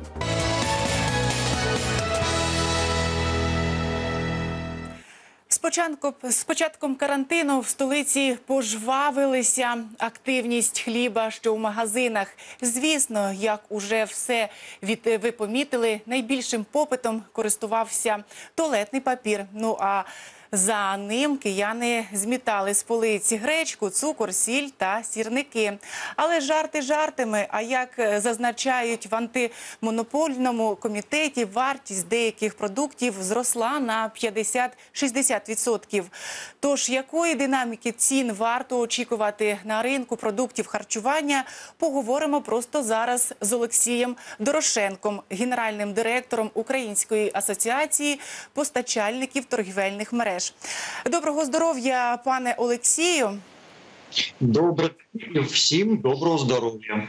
Дехто з продавців заявляє, що нині е, піднялися е, ціни через ріст е, е, закупівлю... закупівлю вартості ТО. Справді це так? Чи це змова продавців?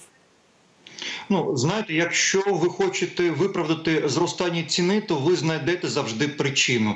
Навіть якщо а, ви завжди до цього говорили, що це все залежить від вартості палива, а зараз паливо падає, то в принципі ви знайдете. Але на жаль, якщо ми з вами зараз побачимо і будемо купувати продукти, а кожен з нас зараз ходить і це робить, то ми з вами побачимо, що зростання вартості більшості продуктів було суттєвим. Однак, якщо ми з вами порахуємо, наскільки виправдане це зростання, то відсотків на 10, на 20 загалом це виправдане, тобто через економічні чинники, а відсотків від 80-90 не виправдані. Але в той же час є продукти виключення, наприклад, як гречка або лимони, де або хліб, наприклад, борошно, де, на жаль, економічні чинники фактично відповідають сьогоднішньому зростанню ціни. Угу. А яких е, заходів вживає анапольний комітет проти здороження? Ну в даному випадку можна говорити про те, що не тільки антимонопольний комітет, але й міністерство економічного розвитку почало вперше робити якісь кроки для того, щоб заспокоїти споживчий ринок, оскільки е, ми вже останні 6 років говорили про те, що якраз купівельна спроможність вона падає, і якраз через це кожен з нас не може купити те, що він хоче. Але зараз що почав е, почала робити держава? По перше, вона е, почала робити е, перлік запасів, вірніше рахувати, а скільки в нас залишилося.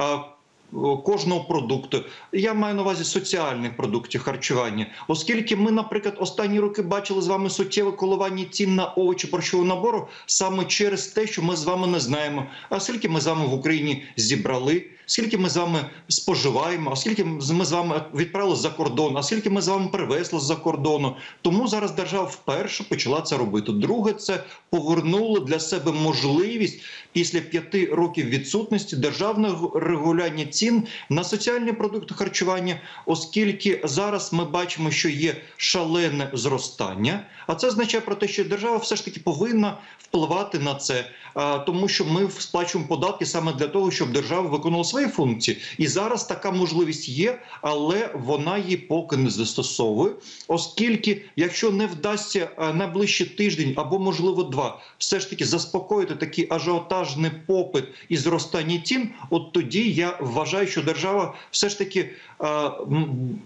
застосує, і тоді ми побачимо з вами все ж таки, яка націнка може на кожен бути продукт. Що стосується ще зростання цін, то одною з найбільших причин зростання цін, на жаль, є закриття ринків, оскільки через ринки продавалося загалом 60% всіх товарів та продуктів в нашій країні, тобто роздрібного товарообігу. А по деяких продуктах, наприклад, як огірки. Помідори або печериці взагалі через ринки реалізовувалось 90% всієї продукції. А це означає про те, що коли ринки в більшості своїй були закриті, то через магазини, на жаль, такий попит просто не може бути а, реалізований. Тим паче в багатьох містах, коли ми з вами говоримо про Київ, тут одна ситуація. Тут через магазини може фактично реалізовуватись відсотки 80 всієї продукції. А от як приклад в містечку, де ринок це 90% взагалі всіх продажів. Як маленькі магазинчики можуть з цим справитись? Ніяк. А чого слід чекати після карантину? Може таке бути, що ціни знизяться? Я очікую на те, що буде стабілізація цін вже цього тижня, оскільки, якщо раніше можна було говорити десь ситуація на місяць вперед, там на три місяці вперед, зараз вона змінюється кожен день і навіть кожну годину. Зараз фактично і антимонопольний комітет, і міністерство економічного розвитку зробили вже достатньо, щоб цього тижня ми з вами побачили стабілізацію. Якщо ми з вами цього тижня не побачимо, то фактично будуть застосовані вже драконівські методи до виробників. До постачальників, до е, торгівельних мереж, які фактично використали ситуацію для е, до, додаткового е, прибутку. Тому в даному випадку цей тиждень є вирішальним. На жаль, є фактори, які впливають негативно. Це, наприклад, девальвація гривні. Ми бачили, що місяць тому гривня була по 24,5 за один зелений, а зараз вже 28. Оце є економічний вплив. А те, що ми з вами побачили зростання цін на вітчизняне товари, яких в нас достатньо, наприклад, на 50% або в два рази. Отут ми якраз побачимо відкат. На жаль, окрім хліба, борошна, макаронів та гречки. Я вам дякую. Бувайте здорові. Нагадую про динаміку цін на продукти харчування. Говорили з Олексієм Дорошенком, генеральним директором Української асоціації постачальників торгівельних мереж. Під час карантину всі зірки припинили свою діяльність. Вони залишаються вдома та закликають усіх бути такими ж свідомими. Відома танцівниця Іло... відома танцівниця Ілона Гвоздьова не втрачає оптимізму та проводить карантинний час у родинному колі. А її маленька донечка Рія із задоволенням долучається до активних розваг разом із мамою. Всем привет! Меня зовут Илона Гвоздева. Я хореограф-постановщик и танцовщица телевизионных проектов. И в силу своей профессии я достаточно часто езжу в командировки, очень активно общаюсь в социальных сетях и так э, с разными людьми. Но в условиях нашей сегодняшней ситуации и в условиях карантина у меня есть замечательная возможность провести это время с пользой для себя и со своей семьей. Давай потихонечку рисуем, аккуратно. Мамуля проверит потом. Моя умничка, давай, давай будем заниматься. Доченька, она умничка, мы время зря на карантине не теряем. Мы растягиваемся. Мамы, кому интересно, обязательно пишите мне в директ. Я буду записывать видео и делиться своими советами по растяжке и уроком для деток, да, жучок? Да.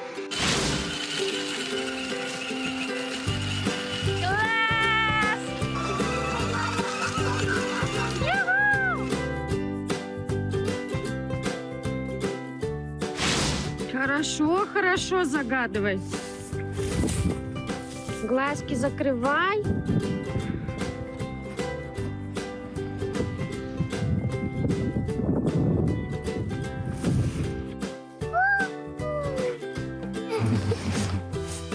Не выкидай. Идешь.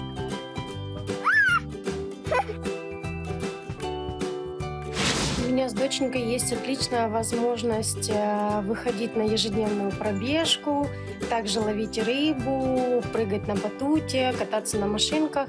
И все благодаря тому, что мы сейчас находимся э, на загородной даче и живем в лесу. Но сейчас не об этом. Я хочу всем мамам сказать, чтобы мы набирались терпения. Да, это нелегко, но это очень круто проводить сейчас время каждый час и каждый день со своим ребеночком, переоценить, возможно, и пересмотреть э, свое воспитание воспитание ваших деток. Поэтому всем здоровья, набирайте сил, терпения.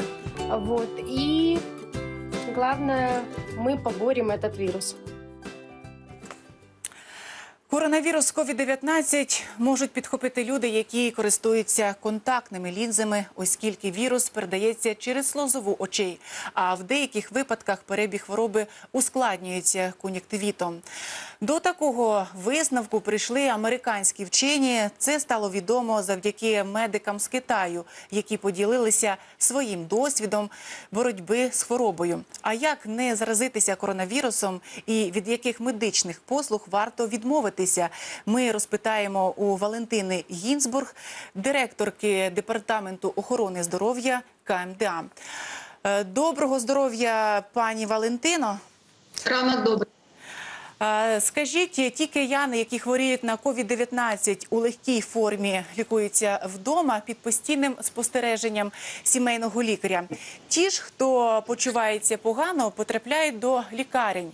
Скажіть, чи багато серед госпіталізованих важких пацієнтів та як е, почувається більшість з них? Дякую за запитання. Перш за все, ускладнення е, одне це пневмонія, перш за все.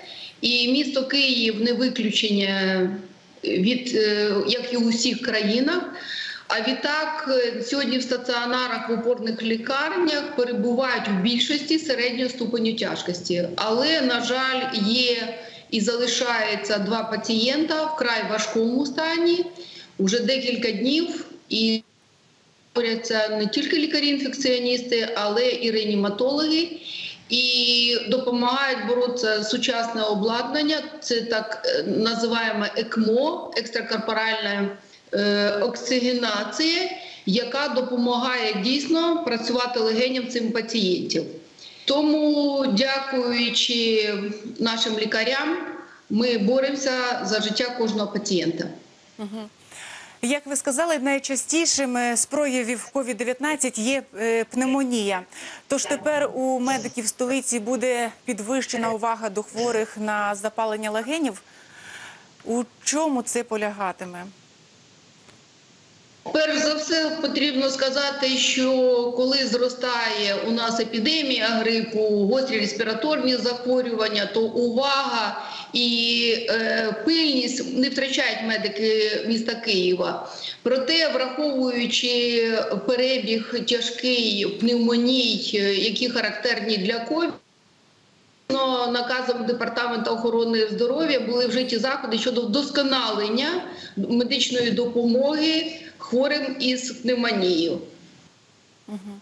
Саме про це хочеться поговорити докладніше. Раніше е, лікувати запалення легенів можна було в терапевтичному або пульмонологічному відділенні. Пульмонологічному відділенні, так. Е, будь-якої київської лікарні. А тепер же е, названі конкретні медичні заклади для лікування пневмонії. А з чим це пов'язано? Ну, перш за все, ви правильно сказали про те, що е, якщо раніше в будь-якому терапевтичному і пульмонологічному відділенні лікувалися пацієнти з пневмонією, то для удосконалення з одного боку якісної медичної допомоги, з іншого боку, мінімізації інфікування медичних працівників, зосередження уваги, більш прискіпливої уваги до пацієнтів було окреслено коло лікувально профілактичних е, куди поступають хворі на пневмонію. Угу. А які е, заклади обрані для прийому хворих на пневмонію і чому саме ці?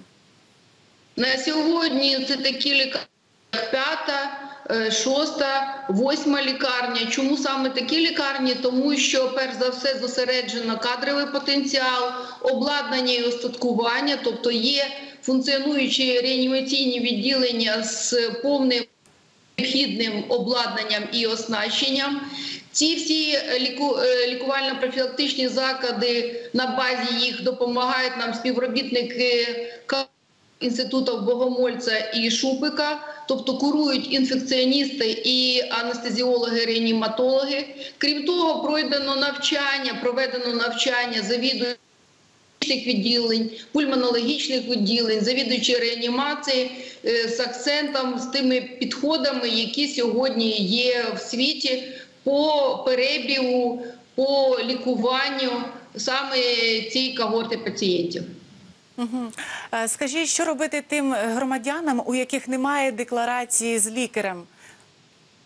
Я б ще хотіла зазначити, доповнити, що в місті Києві ми розпочали тестування методом е, ПЛР е, для того, щоб виключити е, іменно пневмонію, причина якої є ковід-інфекція. І це, мабуть, ми єдине на сьогодні місце, де розпочали всі пневмонії тестувати е, цим методом найбільш чутливим для своєчасного реагування, як з одного боку лікування, а з іншого мінімізації ризику інфікування медичних працівників.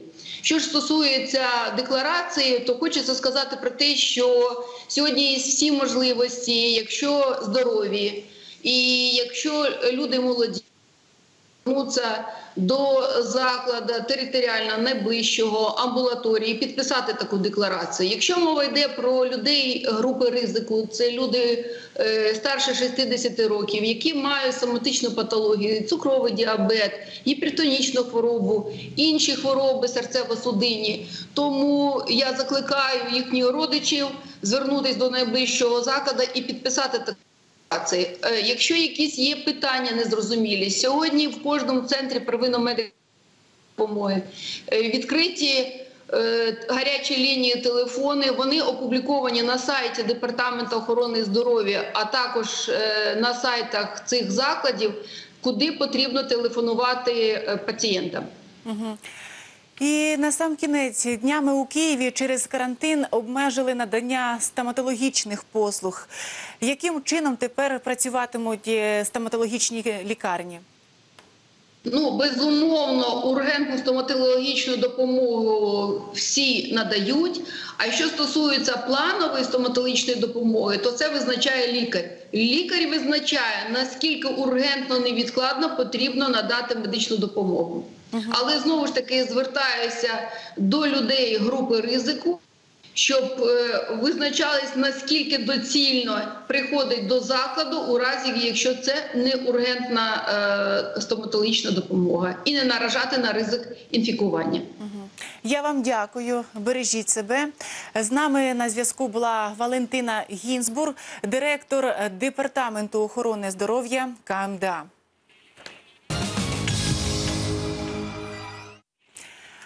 Ну а в нас попереду дуже багато цікавих новин і порад від наших експертів. Це вже традиційно і від Вікторії Щелко. Вона розкаже, яких порад дати своїм е, старим речам. Ну а ми повернемося до ранку. Е, незабаром залишайтеся з нами.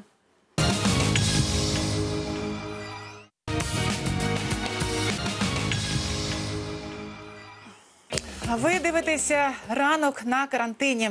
Режим самоізоляції дає шанс нарешті зробити те, до чого завжди не доходили руки. Погодьтеся, сидячи вдома на карантині, ваш мозок не так втомлюється, як після звичайного робочого дня.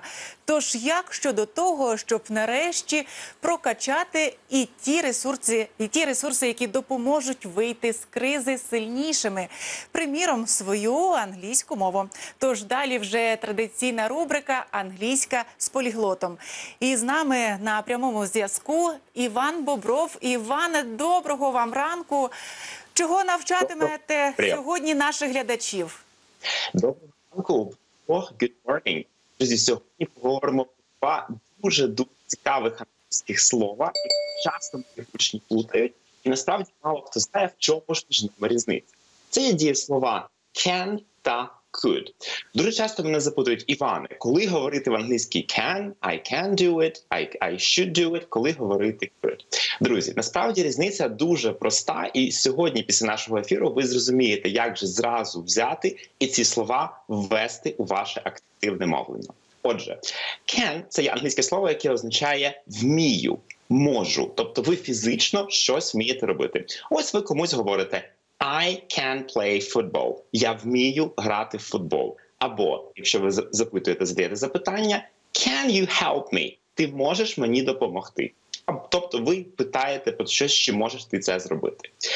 Could, з іншого боку, друзі, це слово, яке вживається для того, що ви могли би зробити. Ви могли б цю дію виконати. Наприклад, якщо ви говорите I could play football, це означатиме хм, ну я би сьогодні пограв в футбол, так? Або I could speak English. Ну, знаєте, я би поговорив сьогодні англійською. Якщо ж ви когось запитуєте, то запитання could you означає, чи не могли би ви. І ви так звертаєтеся до людей, до яких українською мовою ви зверталися б на ви. Зверніть увагу. Can you open the window? Ти можеш відкрити вікно? Та could you open the window? Чи не міг би ти відкрити вікно? І друзі, для того, щоб ми з вами остаточно раз і назавжди запам'ятали слово can, в нас є цікава, дуже крута англійська скоромовка. Звучить вона наступним чином: Can you can a can as a canner can can a can? Що означає, чи можеш ти законсервувати банку, так як це так як це може зробити консервувальник? Ще раз. Can you can a can as a canner can can a can? Я вам дякую, е, пане Іване. Дякую, Габріело. Е, Нагадаю, що на прямому зв'язку з нами був Іван Бобров, поліглот. Е, Разом вдосконалювали англійську.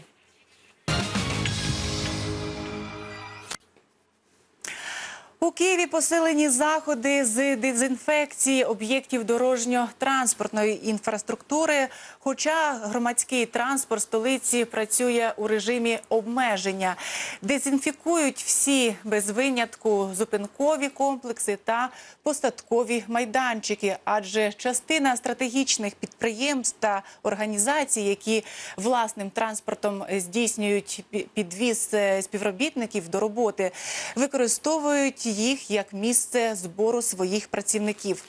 Наша журналістка Яна Петренко поїхала зараз в місто, і і вона нам розкаже, яка ситуація зараз у столиці. Яно, тобі слово. Доброго здоров'я ще раз усім нашим глядачам. Ми зараз перебуваємо на повітрофлотському проспекті на зупинці Курський і хочемо вам показати, як проводиться дезінфекція зупинок. Біля мене перебуває пан Олександр, який розкаже нам, як часто дезінфікують зараз в умовах карантину зупинки. Доброго ранку, пане Олександре. Розкажіть, як працюєте в режимі карантину. Мы работаем в в режиме карантина, круглосуточном режиме, за- на- остановки в в течение каждые три часа, делаем в районе обрабатываем 211 единиц остановок, плюс обрабатываем дороги, мо- специальным шампунем моем. Ну, в А принципе, який склад цього розчину? ну, проще это э, хлорка, хлор- хлоргексидин называется это, да. Наскільки вам вистачає його? Скільки зупинок ви можете Значит, с продезінфікувати? одного э, баллона, который заправлен, порядка 3-4 остановок. В зависимости от э, интенсивности людей, где бо- больше перебыл, этот, находится. А чи є він безпечним і як швидко він Да, для, вивітрюється? для людей он этот, безопасный, убивает э, полностью все микробы. Ну, самое главное людям быть дома оставаться в данный момент, на данный момент карантина. А назвіть, будь ласка, ваших співробітників. Е, Можете по іменах розказати, хто дбає про нашу безпеку, хто ці люди, які з- забезпечують е, нашу безпеку і дбають про наше здоров'я. Значит, у нас э, обеспечивает наше здоровье порядка 120 человек э, дорожных рабочих, асфальтобетонщиков, которые не, не прекращают ни на, э, ни на каждую этот, э, работу. Как бы всех перечислить э, ну, до- ну, это сильно сложно, но все работают э, А в який у них робочий графік? Скільки вони годин працюють? Работают э, сутки через трое, они ну, в, в круглосуточном А чи в- мають вони маски, антисептики? Як вони забезпечені? Обеспечены они масками, рукавицами, антисептиками специальными. Да- да- Даем им специально этот э, рочин обра- обрабатывают. Также обрабатывают свою территорию, где находится, где пе- переодевается. И плюс транспорт э, моем э, свой. свой.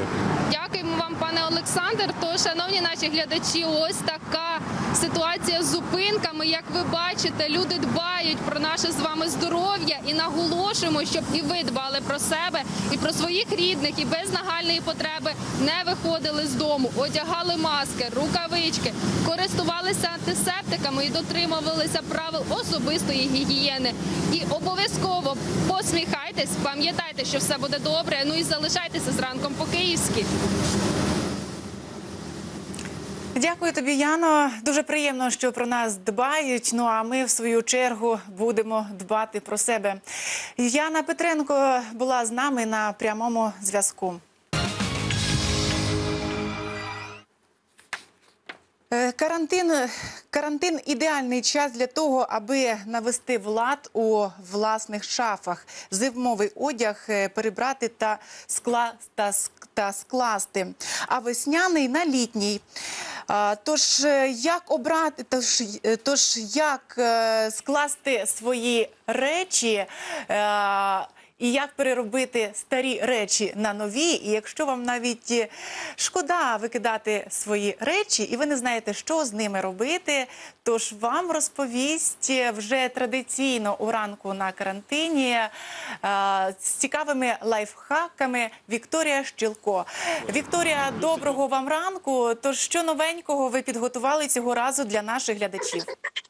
Доброго ранку вам, мої шановні. Уявіть, ви пролили каву на улюблену футболку і ви хочете її викидати. Ні, не треба її викидати, тому що є два способи, як цю пляму прибрати. По-перше, ви можете взяти дитячі якісь малюнки або якусь аплікацію, яку робили з дитиною. Потім вирізати малюнок, взяти нашу плівочку, отак обгорнути плівочкою наш малюнок. Після цього покласти на нашу футболку. Ось так кладемо на нашу футболку. Ви бачите, я вже зробила себе, а це у нас златка. Зверху ми прикриваємо пергаментним папером, нагріваємо наш утюг і злата разом. Давай прижимаємо її. Давай мені допомагай. Прижимаємо отак наш малюнок. Ми прижали наш малюнок, прогладили його дуже добре. І все. Це те, що потрібно зробити, аби наш малюнок з'явився на нашій футболці. Якщо у вас буде трошки більше часу, так само підпаліть оці частинки для того, щоб закріпився наш малюнок. Погляньте, будь ласка, я і Злата вже є на старій футболці. І це дуже цікаво. Другий спосіб. Давайте ми перегорнемо і зробимо так. Підготувавшись до ефіру, ми вирізали логотип телеканалу Київ, поклали його таким чином, поклали зверху наш листочок, і після цього взяли звичайну акрилову фарбу, розвели її з водою. Приблизна консистенція 40 на 50, тобто 50% а, нашої фарби і 40-50% води. У нас зробилася ось така рідина. Ми налили просто у дозатор, який був вдома, будь-якої фірми. І зараз Злата буде наносити малюнок телеканалу Київ. Поїхали, Злата, нажимай. Давай. Мама, ну Отак. Отак, бачите, ми наносимо наш малюнок отакими от рухами. Хоп! І вуаля! Стара футболка змінилася на нову з логотипом телеканалу Київ. Тож бажаємо вам гарного настрою та дня від мене, Вікторії Щелко та Злати і телеканалу Київ. Па-па!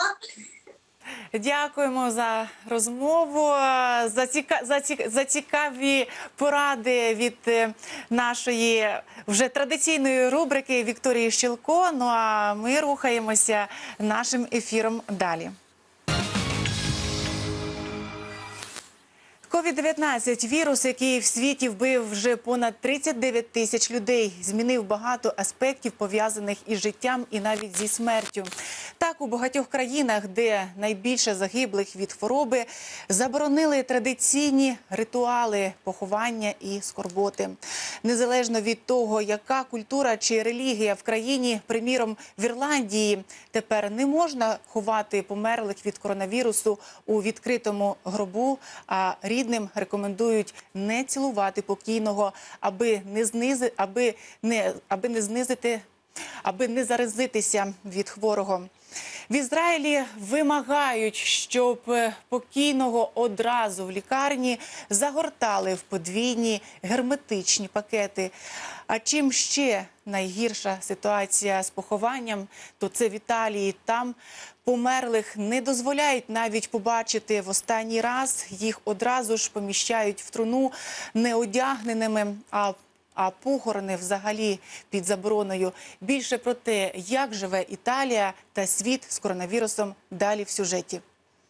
Пандемія коронавірусу у світі посилюється. Вже більш як у 180 країнах виявили вірус. Погані новини продовжують надходити з Італії, де найбільша смертність у світі від COVID-19.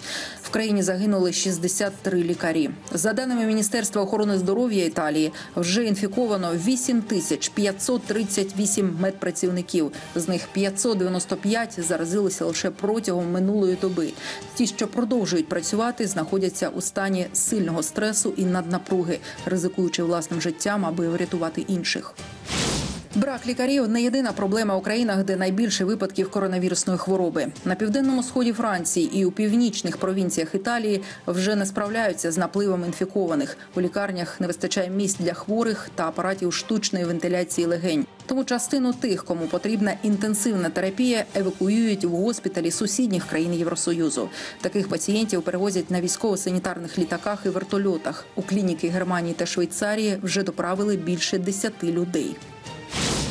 Аби хоч якось призупинити поширення коронавірусу в Італії, влада країни подовжила режим жорсткого карантину іще на два тижні. В мережі з'явилося шокуюче відео з Мілану, який немов помер. У місті, зазвичай наповненому туристами і місцевими жителями, лякаючи порожньо. На знятих з дрона кадрах видно, що центр міста, в тому числі всесвітньо відомі П'яце дель Дуомо і галерея Віктора Еммануїла, абсолютно порожні. Магазини відомих світових брендів закриті, а з усіх закладів поблизу працює лише аптека. Аби не сталося лиха, як в Італії, залишайтеся вдома і виконуйте усе, що рекомендують медики і влада, аби потім не сумувати за тими, хто помер через вашу недбалість і безвідповідальність. Ну а ми продовжуємо наш ранок по київськи. Е, Чеські вчені з'ясували, що кліщі надають перевагу певній групі крові. Раніше ця теорія не була підтвердженою, а нещодавно науковці провели простий експеримент біля річки Руда, зібравши звичайних кліщів, які поширені в Європі. Вони створили умови, за яких кліщі могли вільно обрати один із чотирьох зразків груп крові. І з'ясувалося, що кліщі віддають перевагу другій групі крові. На жаль, через теплу зиму і ранню весну в нашому місті активізувалися кліщі. А от як про те, як від них вберегтися, дізнаємося від нашого журналіста Андрія Нєшина. Увага на екран. Вони прокинулися раніше ніж завжди. Киянка Альона перших двох кліщів зняла із своєї чотирирічної собаки Бусі вже тиждень тому. Жінка гуляє із песиком двічі на день. І щодня прогулянка завершується поверхневим оглядом себе і собаки. Закриваємо все максимально, чтобы не было просвета, потому как они из деревьев падают и в траве, и уже сейчас их очень действительно много. То есть на животных по 5, по 10 штук иногда после прихода с улицы. Я и на себе их снимала. Кстати, с собаки легче снимать. Он легко выходит пинцетиком, его просто надо повернуть, и он выходит легко. Ну, такая структура э, кожи у у них легче выходит из себя, тяжелее. Проте лікарі не радять самостійно пінцетом видаляти кліща. А каролог Ігор Небагаткін все своє життя професійно досліджує кліщів. каже, цьогорічне раннє пожвавлення цих павукоподібних це наслідок відсутності сніга, морозів і теплої весни. Зоологічна класифікація налічує понад 4 тисячі видів кліщів. Аби перевірити наявність кліщів у траві, достатньо взяти білу тканину, провести нею по траві. І от ми вже когось піймали. Пане Ігорю, кого ми піймали? Що це за кліщ? Це ви піймали кліща, який називається шкуроріз. Да. Він е, переносить в основному тулеремію, е, небезпечну для людей хворобу, особливо небезпечну, і піроплазмоз для домашніх тварин. Також за 10 хвилин ми впіймали ще пару десятків різних видів кліщів, які переносять хворобу лайма, бареліоз та енцефаліт. За минулий рік в Україні зареєстровано майже 5 тисяч випадків укусів різноманітних кліщів, більше тисячі з яких припадають на столицю та Київщину. Кліщі живуть в ґрунті, в самому ґрунті, да? і маленькими порціями виходять е, на поверхню для того, щоб поживитися. Живляться всі стадії виключно кров'ю. Саме час згадати правила на природу виключно в закритій одежі. Брюки заправляти взуття, користуватися репелентами. Ваших домашніх собак виручать спеціальні нашийники та спреї. А в аптеці чи зоомагазині можна придбати спеціальний гаджет кліщесмик. Їм можна правильно дістати кліща. А столичні парки, сквери та лісові господарства оброблятимуть через спеціальні пульверізатори лише через пару тижнів. Тож зараз, після прогулянок, треба ретельно оглядати себе і ваших домашніх тваринок. Зазвичай за 2-3 дня до початку обробки ми е, оголошення пишемо, вивішуємо на деревах. Зазвичай е, оголошення в інтернет-сайтах, на Фейсбуці, у групах, там де люди спілкуються саме з цього е, парку, з цієї території. Лікарі радять, якщо вже й знайшли на своєму тілі кліща, то не діставати його самотужки підручними способами. Тим паче, якщо ви не знаєте, як робити це професійно, не слід поливати його рослинною олією чи застосовувати інші поради, які пишуть в мережі інтернет. Краще звернутись до лікаря. А ранок по-київськи бажає вам міцного здоров'я та не хворіти.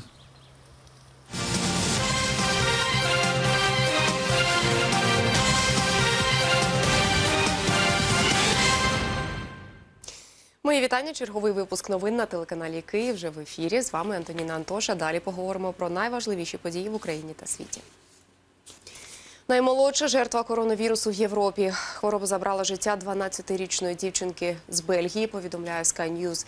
Місцева влада зазначила, що це і наймолодша пацієнтка серед 705 інших громадян, що померли від недуги. Нині Україні інфіковано майже 13 тисяч людей. А от в Італії шестимісячна дитина одужала від коронавірусу. Про це повідомляє Daily Mail. Малеча майже два місяці боролась із недугою. Хлопчика Лео е, лише нещодавно забрали з лікарні додому. Місцевий мер Марко Белларіні назвав малюка чудесним обличчям надії. Втім, Італія і далі зазнає великих втрат від коронавірусу.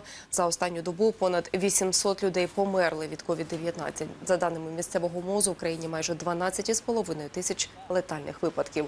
Кількість уражених майже 106 тисяч. Минулої доби на Апенінському півострові виявили понад 4 тисячі нових випадків інфікування.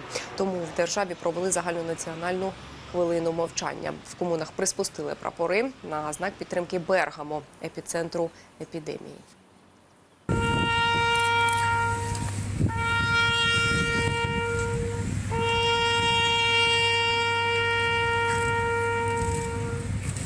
Зірковий телеведучий CNN Кріс Куомо захворів на COVID-19. Він ізолювався в підвалі та продовжує працювати над авторською програмою. Про це розповів його брат, губернатор штату Нью-Йорк Ендрю Куомо під час промови в прямому ефірі.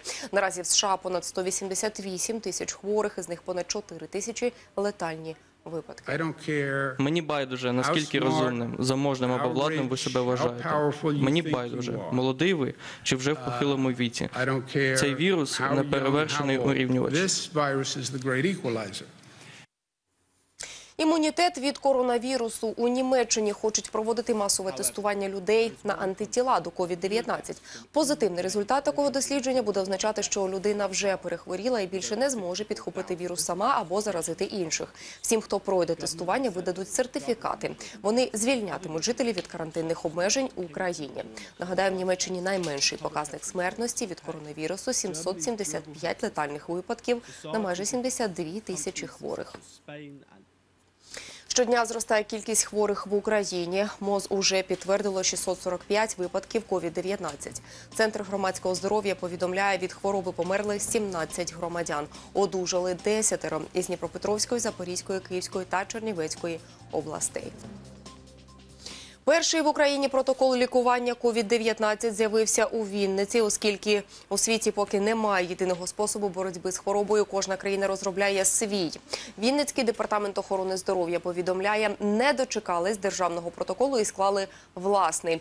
Він заснований на китайському, італійському, іспанському, американському та корейському досвіді. У приписі визначили низку протималярійних препаратів, а також медикаментів, які застосовують при лікуванні СНІДу. За час епідемії коронавірусу світове споживання нафти скоротилось в 5 разів. Втім, українські АЗС тримають ціну на паливо. Як надалі буде розвиватися ситуація? Дивіться у сюжеті.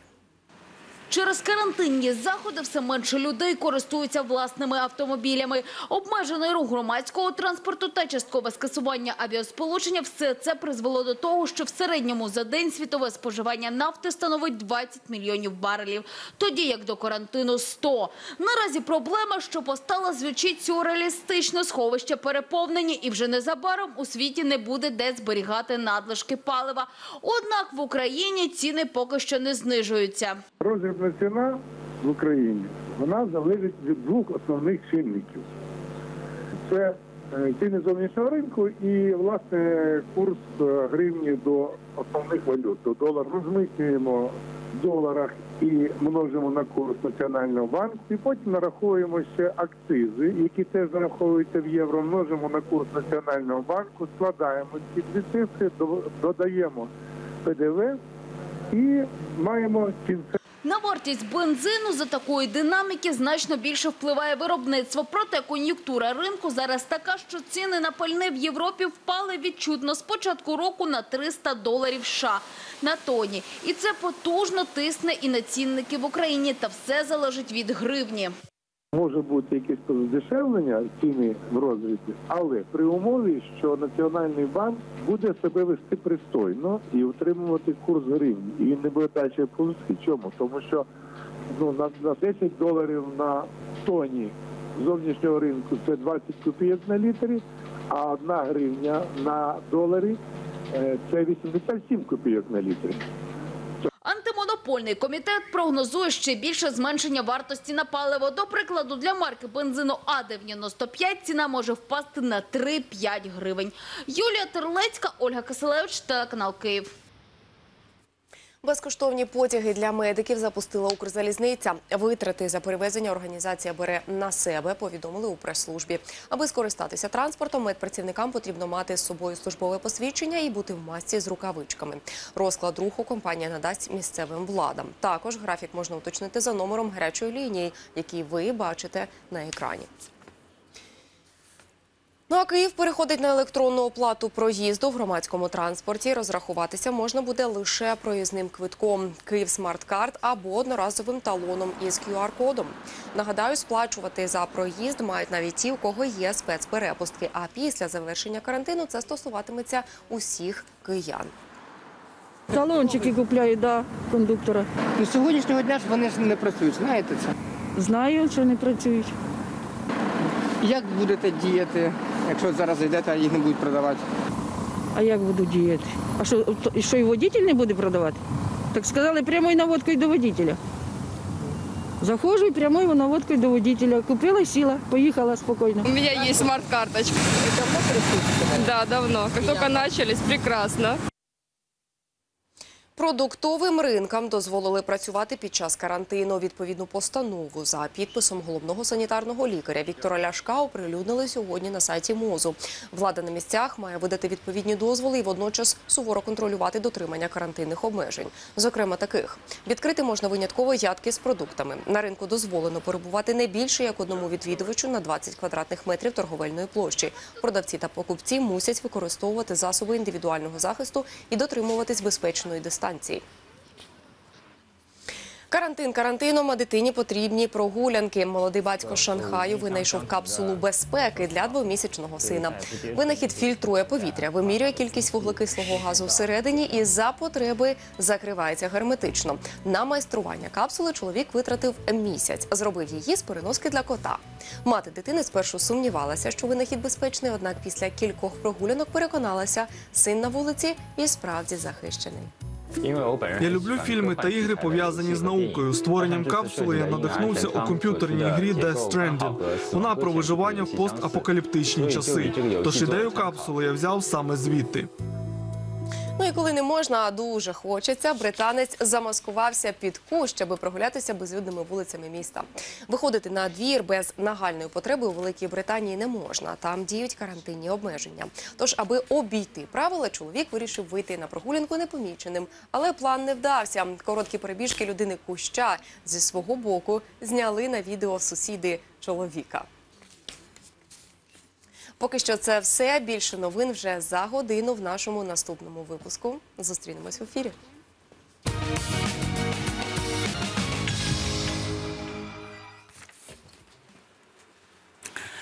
Ну а ранок е, по-київськи стартує, і в нас лишилася ще одна година, і попереду в нас дуже багато цікавих новин.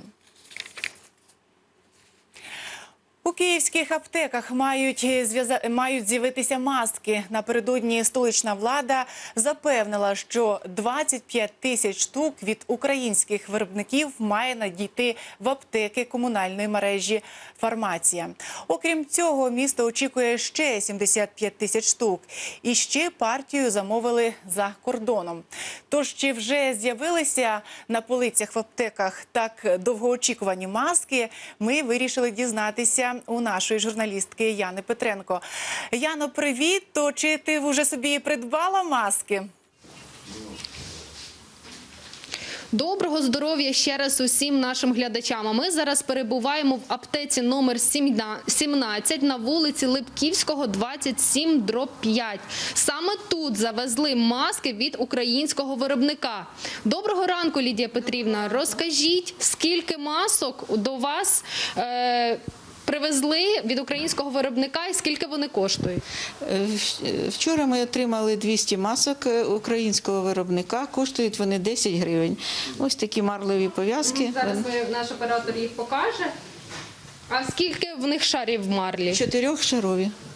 Е, Скажіть, чи є зараз в наявності антисептики? Антисептики є двох видів: є спиртові розчини і хлоргексидіна біглюканат. А чи є зараз е, ще звичайні маски, крім українського виробника? Ну на сьогоднішній день їх немає, але ми очікуємо доставку із дня на день. А скільки ви можете видавати таких масок для одної людини на руки? Ну зараз видаємо не більше трьох. Якщо будуть більші надходження, будемо видавати людині по потребі. А розкажіть, ще які зараз діють обмеження от відвідування аптеки. Ми зараз покажемо, що в аптеці зараз ось така черга. Ви бачите, що люди стоять на вулиці, заходять по одному, намагаються е, дотримуватися дистанції, метр один від одного. Всі переважно в масці і заходять по одному, по двох до аптеки. Е, розкажіть, чи завжди у вас така черга? Ну, черга буває така не завжди, але вона є, і люди з розумінням е, ставляться е, до е, дійсної ситуації, заходять по одному, і ніяких інцидентів з цього приводу у нас немає. Люди переважно в масках. Ми рекомендуємо зараз і маски, і антисептики, і рукавички у нас є трьох розмірів. А чи кожен відвідувач зараз купує маску? Ні, не кожен. Не кожен? Не кожен. Дякуємо вам, Лідія Петрівна. Ось така зараз ситуація наразі в аптеках. Маски є від українського виробника. Тож наша держава дбає про наших громадян і почала шити власні маски, які нагадаю коштують 10 гривень за одну. Вони чотирьохшарові, марлеві. Тож, дорогі наші глядачі, ще раз нагадуємо вам, щоб ви обов'язково користувалися масками, одягали рукавички, користувалися антисептиками та мили руки з милом. Без нагальної потреби не виходили з будинку. І залишайтеся зранком по київськи частіше, посміхайтеся і пам'ятайте, що все буде добре. Дякую тобі, колего. З нами на прямому зв'язку була наша журналістка Яна Петренко. Вона перебувала в місті в аптеці, дізнавалася, як ситуація, чи завезли маски і який там ажіотаж. Маски вже є, вони по 10 гривень, тому їх можна придбати в мережі е, фармація. Тож. е, Е, Якщо маєте нагоду, можете собі придбати маску. Ну а ми продовжуємо наш ранок на карантині. День брехні, день сміху, день викопних дурнів в Канаді та США, день квітневих бондурів у е, е, бовдурів у Франції. Все це звичайно про 1 квітня.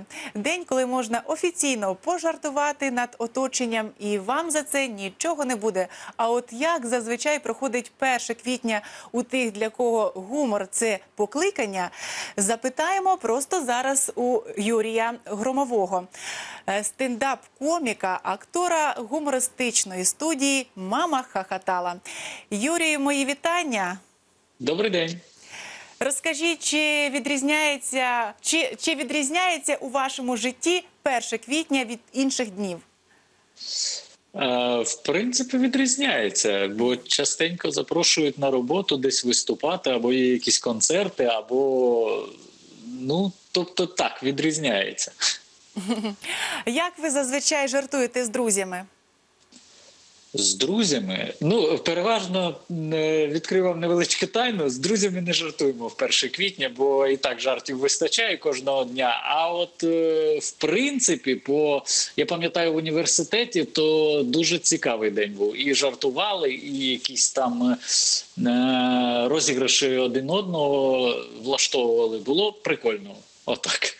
В гуртожитку е, зазвичай це відбувалося. Я пам'ятаю, що е, в гуртожитку над дівчатами приколювались постійно.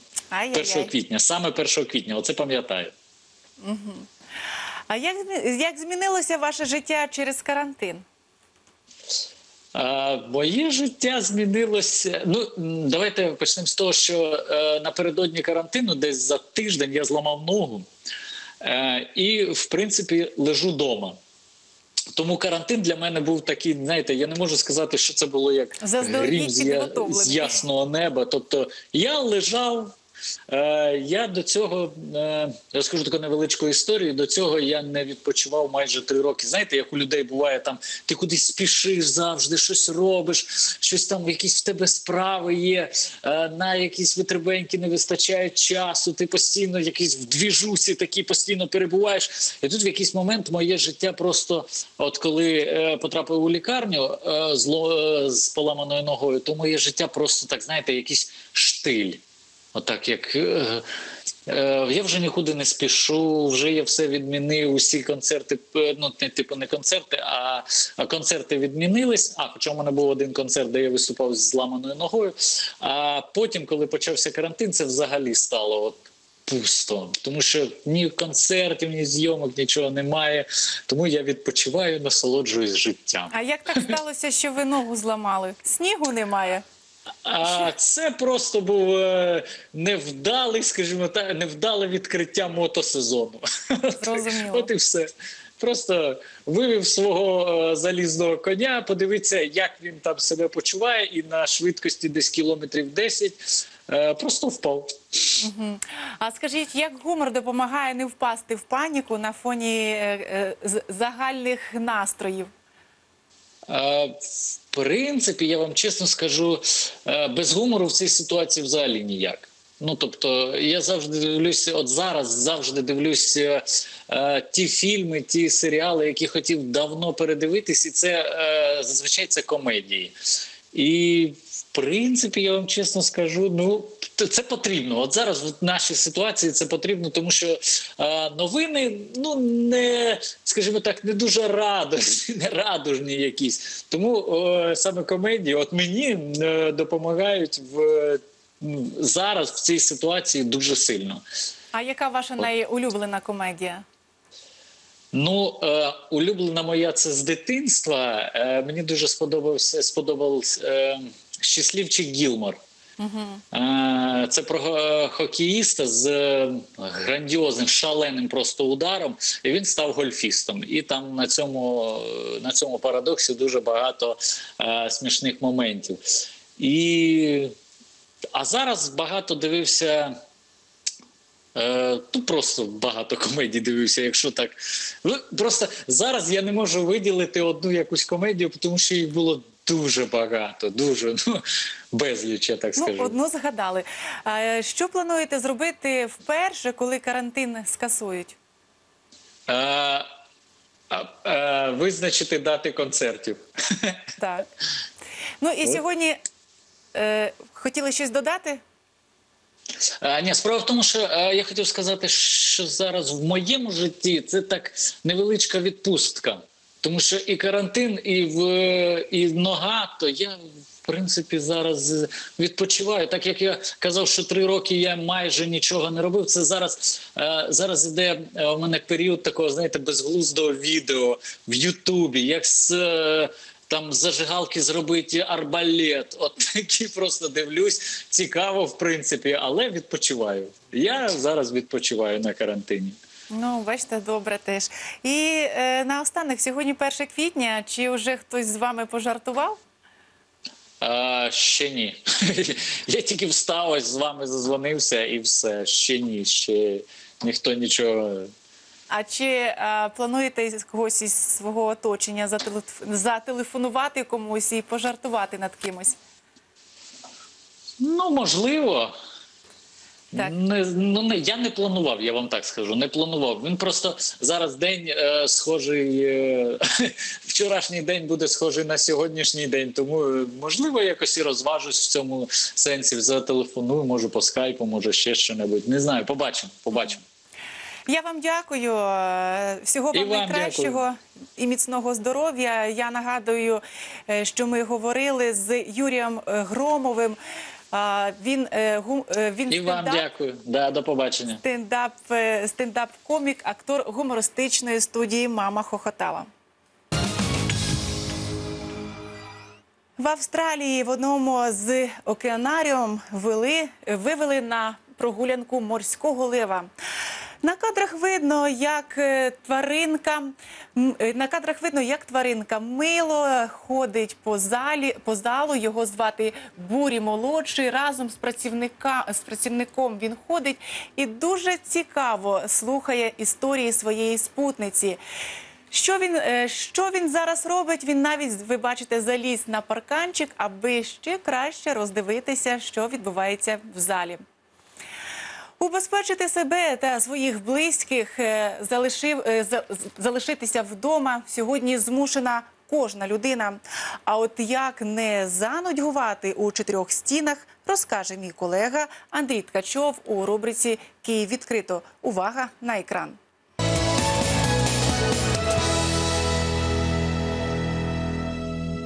Вітаю, друзі! Мене звати Андрій Ткачов. Це проект відкрито. Сьогодні раджу вам трохи більше посміятися. Джем до вашої уваги підбірка найулюбленіших комедій. І почнемо із фільму про ну дуже вже професійних в лапках поліцейських Мачо і Ботан. Цього разу у хлопців непросте завдання, адже їм прийдеться скинути 10 років або ж 10 кілограм та повернутися до шкільної парти для того, щоб викрити злочинність. І тут буде одне але, адже хтось зовсім забуде про завдання. І його можна зрозуміти, адже дівчата, вечірки, уроки математики. Що ж може бути краще? Я обіцяю, будемо суперпрофесіоналами. Наступний фільм Похмілля в Вегасі. Це історія про те, як потрібно відпочивати. Порин О, да, да, да. прокинутись зранку, помітити чужу дитину в шафі, тигра у ванні та ще й загубити друга, у якого за 40 хвилин весілля. Гадаю, цей перелік дій був не запланований у перебоцькій вечірці хлопців. Але як то кажуть, маємо те, що маємо. Одним словом, якщо давно не сміялись, обов'язково перегляньте. Якщо ви дуже сором'язлива людина, ви гадаєте, що у вас сумне життя, не хвилюйтесь, адже ми знайдемо для вас вихід. Пропоную брати приклад із героїв фільму Завжди кажи так. І тоді даю гарантію, що життя не те, що зміниться, а вам минуле буде дуже навіть ем, здаватись хорошим. До речі, у головній ролі комедійний актор Джим Керрі, який, до речі, до а, з цих зйомок спеціально вчив корейську. Як ви розумієте, після цього фільм став ще смішнішим. Ще одна комедія на черзі. Улюблений фільм усіх, кому більше ніж 20 років. Не знаю, чому я визначив саме таку вікову категорію, але нехай вже буде. Так ось це фільм про подорож Європою. Євротур. До речі, він відкриває для вас багато чого цікавого. Наприклад, що у східноєвропейських країнах можна чудово відпочити за долар 83 центи. Тому як тільки завершиться карантин, усім пропоную на відпочинок до Братислави. Ну і ще один фільм, який вартий вашої уваги: Брюс всемогутній з Джимом Керрі. І ви розумієте, що від актора слід очікувати всього, що змусить вас сміятись. Історія про репортера, якого Бог нагородив суперздібностями, а якими саме ви вже дізнаєтесь після перегляду. Головне, не повторюйте усе це, що робить Брюс у себе вдома. Ну і на цьому будемо з вами прощатись. Не сумуйте, побачимось незабаром.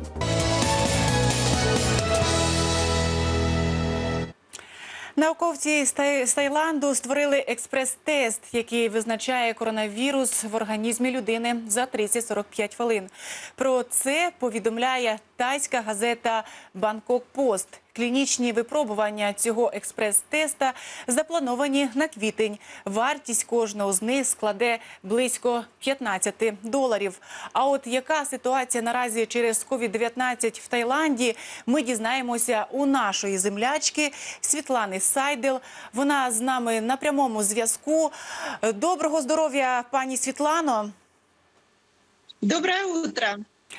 Розкажіть, яка у вас ситуація в країні? Чи багато захворювань на коронавірус? А, Ситуация, конечно, тяжелая, такая же, как и во всем мире, очень серьезная. У нас на сегодняшний день 1771 человек инфицирован, э, 12 смертельных случаев. За сегодня заболели 120 новых людей, но 342 человека выздоровели. У нас объявлен карантин, и с на улицу мы можем выходить только с 7 утра до 7 вечера.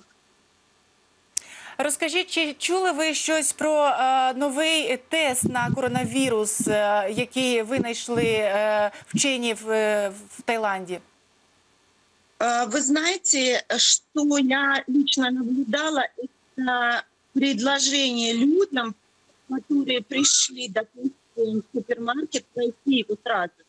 И очень много желающих проходит его этот тест. Сама я еще не проходила, но я видела э, в больших центрах, что это действительно предлагают людям. Угу. А, я не сильно розчула, що ви сказали в кінці, то його ще в продажі е, ніде немає, не можна знайти, так? Ваш... Продажи его нет, но его, его не продают. Ага. Э, Продажи нет, но предлагают людям его просто пройти. Угу. Зрозуміло. Да. У вас зараз спекотно в Ну, країні. невозможно купить, он еще не продается. Так, у вас зараз спекотно в країні, е, десь плюс 30 градусів. Чи дотримуються громадяни е, е, карантину? Да, дотримуются, и все ходят в масках и в перчатках. На улице людей без масок нет. И все пляжи пустые, то есть люди действительно э, дотримуются карантина. Угу. Е, Я вам дякую. Бувайте здорові. Нагадаю, що з нами на прямому зв'язку була наша співвітчизниця з Таїланду Світлана Сайдел. Слова. Ну і до слова, таїландські вчені ще й розробили розумних роботів з технологією зв'язку 5G, які дозволяють доглядати за пацієнтами з коронавірусом. Це роботи, яких використовують для спостереження за симптомами людей, які перебувають під підозрою і за і доглядом за вже інфікованими, щоб зменшити ймовірність зараження медичного персоналу. Ну а просто е, ну а наш ранок, е, наш ранок е, на карантині триває, і я хочу сказати, що ми розповідаємо про все найактуальніше у місті та світі. Під час карантину всі зірки припинили свою діяльність. Вони залишаються вдома та закликають інших бути такими ж свідомими. Відома танцівниця Ілона Гвоздьова не втрачає оптимізм та проводить карантинний час у родинному колі. А її маленька донечка Рія із задоволенням долучається до активних розваг разом з мамою. Всем привет! Меня зовут Илона Гвоздева. Я хореограф-постановщик и танцовщица телевизионных проектов. И в силу своей профессии я достаточно часто езжу в командировки, очень активно общаюсь в социальных сетях и так э, с разными людьми. Но в условиях нашей сегодняшней ситуации и в условиях карантина у меня есть замечательная возможность провести это время с пользой для себя и со своей семьей. Давай потихонечку рисуем, аккуратно. Мамуля проверит потом. Моя умничка, давай, давай будем заниматься. Доченька, она умничка, мы время зря на карантине не теряем. Мы растягиваемся. Мамы, кому интересно, обязательно пишите мне в директ. Я буду записывать видео и делиться своими советами по растяжке и уроком для деток, да, Жучок?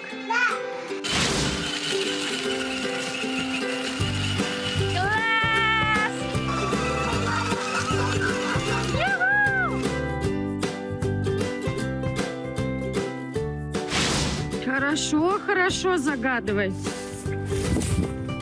Глазки закрывай.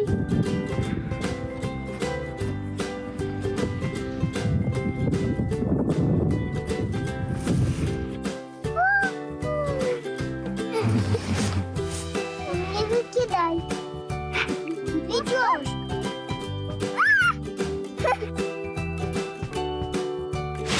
Меня с доченькой есть отличная возможность э, выходить на ежедневную пробежку, также ловить рыбу, прыгать на батуте, кататься на машинках. И все благодаря тому, что мы сейчас находимся э, на загородной даче и живем в лесу. Но сейчас не об этом. Я хочу всем мамам сказать, чтобы мы набирались терпения. Да, это нелегко, но это очень круто проводить сейчас время каждый час и каждый день со своим ребеночком, переоценить, возможно, и пересмотреть э, свое воспитание и воспитание ваших деток. Поэтому всем здоровья, набирайте сил, терпения. Вот. И главное, мы поборем этот вирус. Карантин це не лише час е, або побути з близькими, прибратися у шафі та квартирі чи спробувати рецепт приготування нового пирога. Ще й період, коли ми маємо вдосталь часу, аби переглянути улюблені кінострічки та подивитися свіжі прем'єри кіно. А як розібратися із різноманіттям фільмів та серіалів, нам допоможе в цьому кінокритик Антон Філатов. Доброго ранку, пане Антоне. Вітаю. Розкажіть про е, розкажіть про кінопрем'єри, на які варто звернути увагу. Ну, звісно, в ці буремні часи не вистачає якогось позитиву, не вистачає мотивації для того, щоб легше пережити е, цей карантин. Тож, е, ну, перший такий фільм, який е, дасть імпульс до того, щоб йти до нових звершень, це, звісно, картина у гонитві за щастям е, 2006 року з Уілом Смітом в головній ролі. Це фільм про те, як е, звичайний американець який не має ні е, дому, ні кар'єри, ні постійного місця роботи, ні сім'ї, окрім маленького сина, ні грошей. Незважаючи на все це, він зміг побудувати нову кар'єру, дійти до своєї мети, стати успішним і отримати в цьому житті абсолютно все. Тобто, це дуже сильний мотиваційний фільм, який стане таким, от е, дуже актуальним. е, Чарівним пенделем для всіх тих, у кого опустилися руки у гонитві за щастям. А також е, зараз, от на часі, тема медицини, тема докторів, і е, ще є в минулому році вийшла така цікава французька комедія, що називається Хто тобі доктор. Е, Це фільм про паризького лікаря, який е, сам е, об'їжджав жителів французької столиці і допомагав їм вилікуватися. Проте одного дня він сам себе відчув погано, став погано себе почувати. Тож він вийшов з цієї ситуації несподіваним е, чином. Він е, просто домовився з е, кур'єром Убера і замість себе відправив його об'їхати пацієнтів. А в цей час тримав з цим кур'єром зв'язок через телефон і просто в реальному часі розповідав цьому кур'єру, як йому лікувати того чи іншого пацієнта. На виїзді е, така от актуальна комедія в ситуації, коли всі сидять сидять вдома і е, бояться виходити на вулицю. Тож хто тобі доктор? Французька комедія 2019 рік. Також ще один такий от е, несподіваний тренд, який, е, з яким нам доводиться наразі жити в ситуації такої е, самоізоляції, це обмежена кількість речей навколо нас.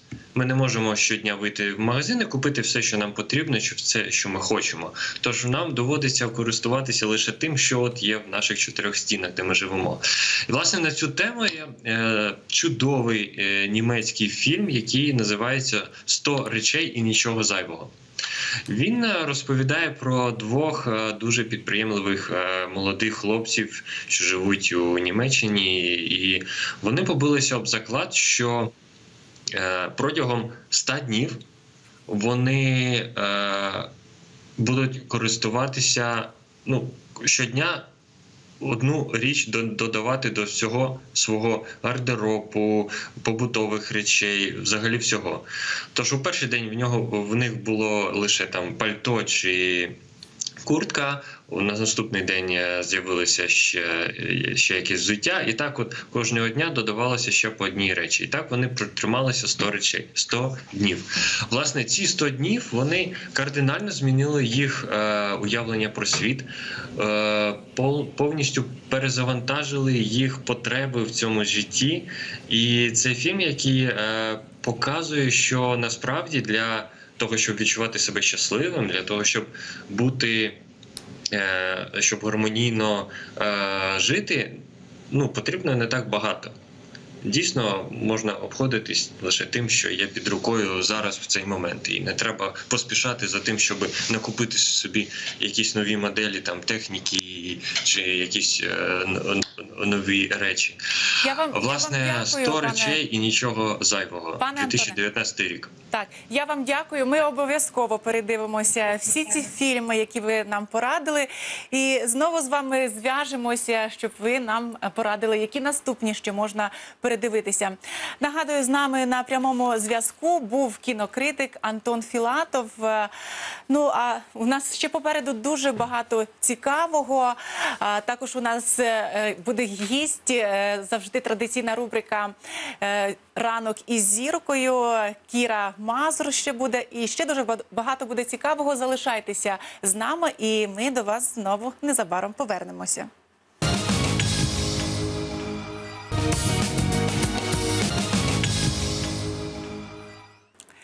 В Україні контакти інфікованих встановлюють медики. Обдзвонювати людей допомагають поліцейські. Громадян, які повертаються за кордону, відправляють на добровільну примусову двотижневу обсервацію. Тим часом в уряді заговорили про провадження електронної в'язниці. Так називають стеження за самоізольованими людьми через додаток у смартфоні. А от чи багато порушників на сьогодні ми дізнаємося у Олександра Пивоварова, у Олександра Пивовара, тимчасово виконуючого обов'язки начальника поліції міста Києва. Скажіть, чи багато доброго ранку? Доброго ранку. Чуєте мене? Скажіть, чи багато вже склали протоколів на правопорушників? Е, так, ще, ще раз доброго ранку. Хочу е, запевнити, що поліція Києва забезпечує контроль за дотриманням обмежень, які встановлені постановою Кабінету міністрів України про запобігання поширенню на території України гострої респіраторної хвороби COVID-19. Е, В Києві з початку введення цих обмежень тривають постійні профілактичні заходи, спрямовані на запобігання поширенню коронавірусної інфекції. Під час таких відпрацювань київські правоохоронці виявляють факти недотримання протиепідемічних заходів та складають адміністративні протоколи, як вже зазначено. Е, Стаття 44 з позначкою 3 е, Кодексу України про адміністративне правопорушення е, надає право притя- притягувати до відповідальності. Санкція статті передбачає е, штраф від 1 до 2 тисяч неподкованих мінімум доходів громадян, тобто від 17 до 34 тисяч гривень.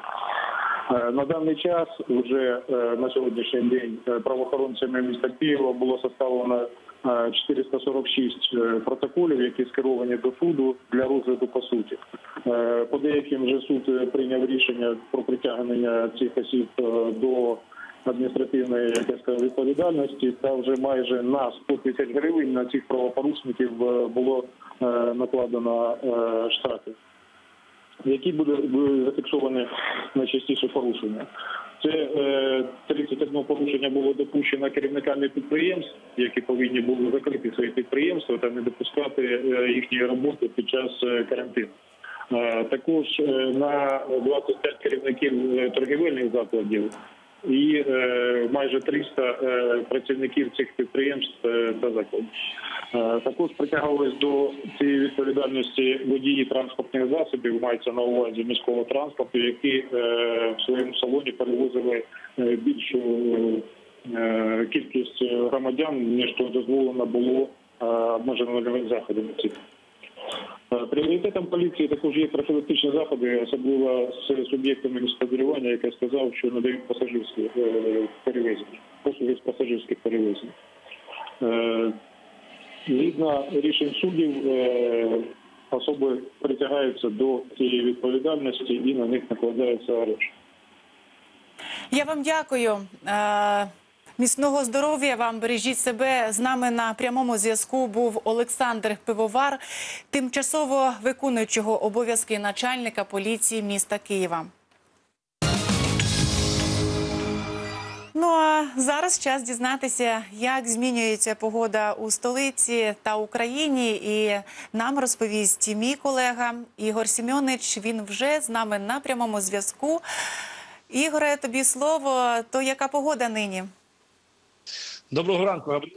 Вітання ранішнім пташкам, які вже встигли навіть протерти очі та клацнути свій пульт саме на ранок на карантині, аби бути в курсі усіх головних подій столиці країни та світу. Нагадаю, що я звикли з власної домівки, а точніше з кухні, де по-справжньому е, затишно як відпочивати, так і працювати, друзі. Головне слідкувати за своїм кендюхом, бо він потрошку набирає обертів. Ранок треба зустрічати з фізкультурою та дивитися Київ. Тим паче погодка на 1 квітня підготувала нам свої жарти. Отже, далі детальніше та увага на екран.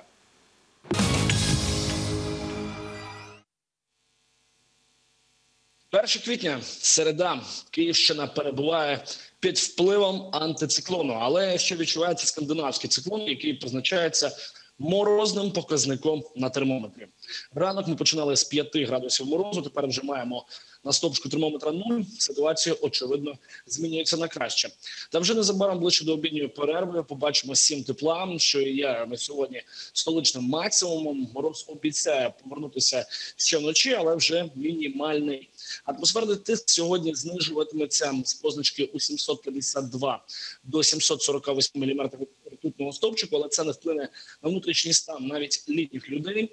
Відносно вологість зросте до 55%. В околицях міста у віддалених куточках спальних районів, таких як Святошинський, Голосівський, Дарницький та Деснянський, температури можуть бути на кілька градусів нижчими через менш щільну забудову. Ну а взагалі по Україні 1 квітня холодно, але без опадів. Вітер переважно з західного напрямку подалих швидкостей. Зранку та ввечері спостерігається до 8 градусів морозу, а в день вже маємо до 8 тепла. Найтепліше за відчуттями буде сьогодні саме на півдні. А більша частина європейських країн на 1 квітня потрапила під вплив поля підвищеного тиску, що обумовлює суху погоду, але прохолодний вітер з Арктики, який вдарив показ по нашим показникам. Лише над південними регіонами тепліше, але там в свою чергу дощить, а в Балканських країнах навіть добряче сніжить. На сам кінець синоптики українського гідрометцентру додають, що на перші п'ять днів квітня пропадає погода без опадів до п'ятниці. Е, ночі ще показуватимуть нам мороз, але до вихідних температура дещо підвищиться, е, або арктичне повітря поступово втрачатиме силою денні години. Стопчики термометрів показуватимуть вже близько 10 градусів тепла. Ну на цьому у мене поки що все. Друзі, нагадаю, спонсор програми Холодний Атлант. Повний спектр охоронних послуг. Традиційно побажаю більше сонечка у вашому серці. Залишайтеся вдома, як і я. Працюйте віддалено та дивіться Київ. Студія. Е, Це була погода з нашим е, журналістом е, Ігорем Сімьоничем. Ну а зараз про найголовніші новини світу.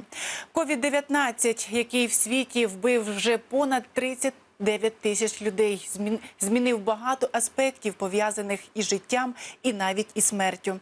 Так, у багатьох країнах, де найбільше загиблих від хвороби, заборонили традиційні ритуали, поховання і скорботи. Незалежно від того, яка культура чи релігія в країні, приміром в Ірландії тепер не можна ховати померлих у відкритому гробу, а рідних рекомендують не цілувати. Е, яка ж ситуація далі у нас? Яка ситуація в Ізраїлі? Там вимагають, щоб покійника одразу в країні загортали в подвій, в подвійні герметичні пакети. А, а чи не найгірша ситуація зараз із похованням в Італії? Там померлих не дозволяють навіть побачити в останній раз. Їх одразу ж поміщають в труну неодягнутими. А похорони взагалі під похорони взагалі під загрозою. Більш про це вам розповість. е, Більш про це ви зараз дізнаєтеся з нашого сюжету. Увага на екран. Пандемія коронавірусу у світі посилюється. Вже більш як у 180 країнах виявили вірус. Погані новини продовжують надходити з Італії, де найбільша смертність у світі від COVID-19. В країні загинули 63 лікарі. За даними Міністерства охорони здоров'я Італії, вже інфіковано 8 тисяч 538 медпрацівників. З них 595 заразилися лише протягом минулої доби. Ті, що продовжують працювати, знаходяться у стані сильного стресу і наднапруги, ризикуючи власним життям, аби врятувати інших. Брак лікарів не єдина проблема у країнах, де найбільше випадків коронавірусної хвороби. На південному сході Франції і у північних провінціях Італії вже не справляються з напливом інфікованих. У лікарнях не вистачає місць для хворих та апаратів штучної вентиляції легень. Тому частину тих, кому потрібна інтенсивна терапія, евакуюють в госпіталі сусідніх країн Євросоюзу. Таких пацієнтів перевозять на військово-санітарних літаках і вертольотах. У клініки Германії та Швейцарії вже доправили більше 10 людей. Аби хоч якось призупинити поширення коронавірусу в Італії, влада країни подовжила режим жорсткого карантину іще на два тижні. В мережі з'явилося шокуюче відео з Мілану, який немов помер. У місті зазвичай наповненому туристами і місцевими жителями, лякаючи порожньо. На знятих з дрона кадрах видно, що центр міста, в тому числі всесвітньо відомі П'яце дель Дуомо і галерея Віктора Еммануїла, абсолютно порожні. Магазини відомих світових брендів закриті, а з усіх закладів поблизу працює лише аптека. Аби не сталося лиха, як в Італії, залишайтеся вдома і виконуйте усе, що рекомендують медики і влада, аби потім не сумувати за тими, хто помер через вашу недбалість і безвідповідальність. Чи знали ви, що у світі нараховують сотні єдиноборств? Один від одного їх відрізняють техніка, стиль і навіть традиції та країна походження. Втім, загалом єдиноборства можна поділити на ударні та броскові. А от фігурист і тренер Даніїл Семко винайшов ще один стиль єдиноборства. Увага на екран. Коничева, мои маленькие друзья, с вами снова я, и сегодня у нас противовирусное единоборство. И начнем мы с дыхательной гимнастики. Приготовились. Глубокий вдох носом и фу, резкий выдох ртом. И... Фу! Фу! Продолжаем. Дальше мы отталкиваем вирус. Из нашего дома. Из нашей семьи. Из нашей страны. Все вместе. Фу! Фа! Фу! Ха! Уходи! Фу! И заключительное упражнение. Мы пинаем вирус. Пинаем его. Пинаем!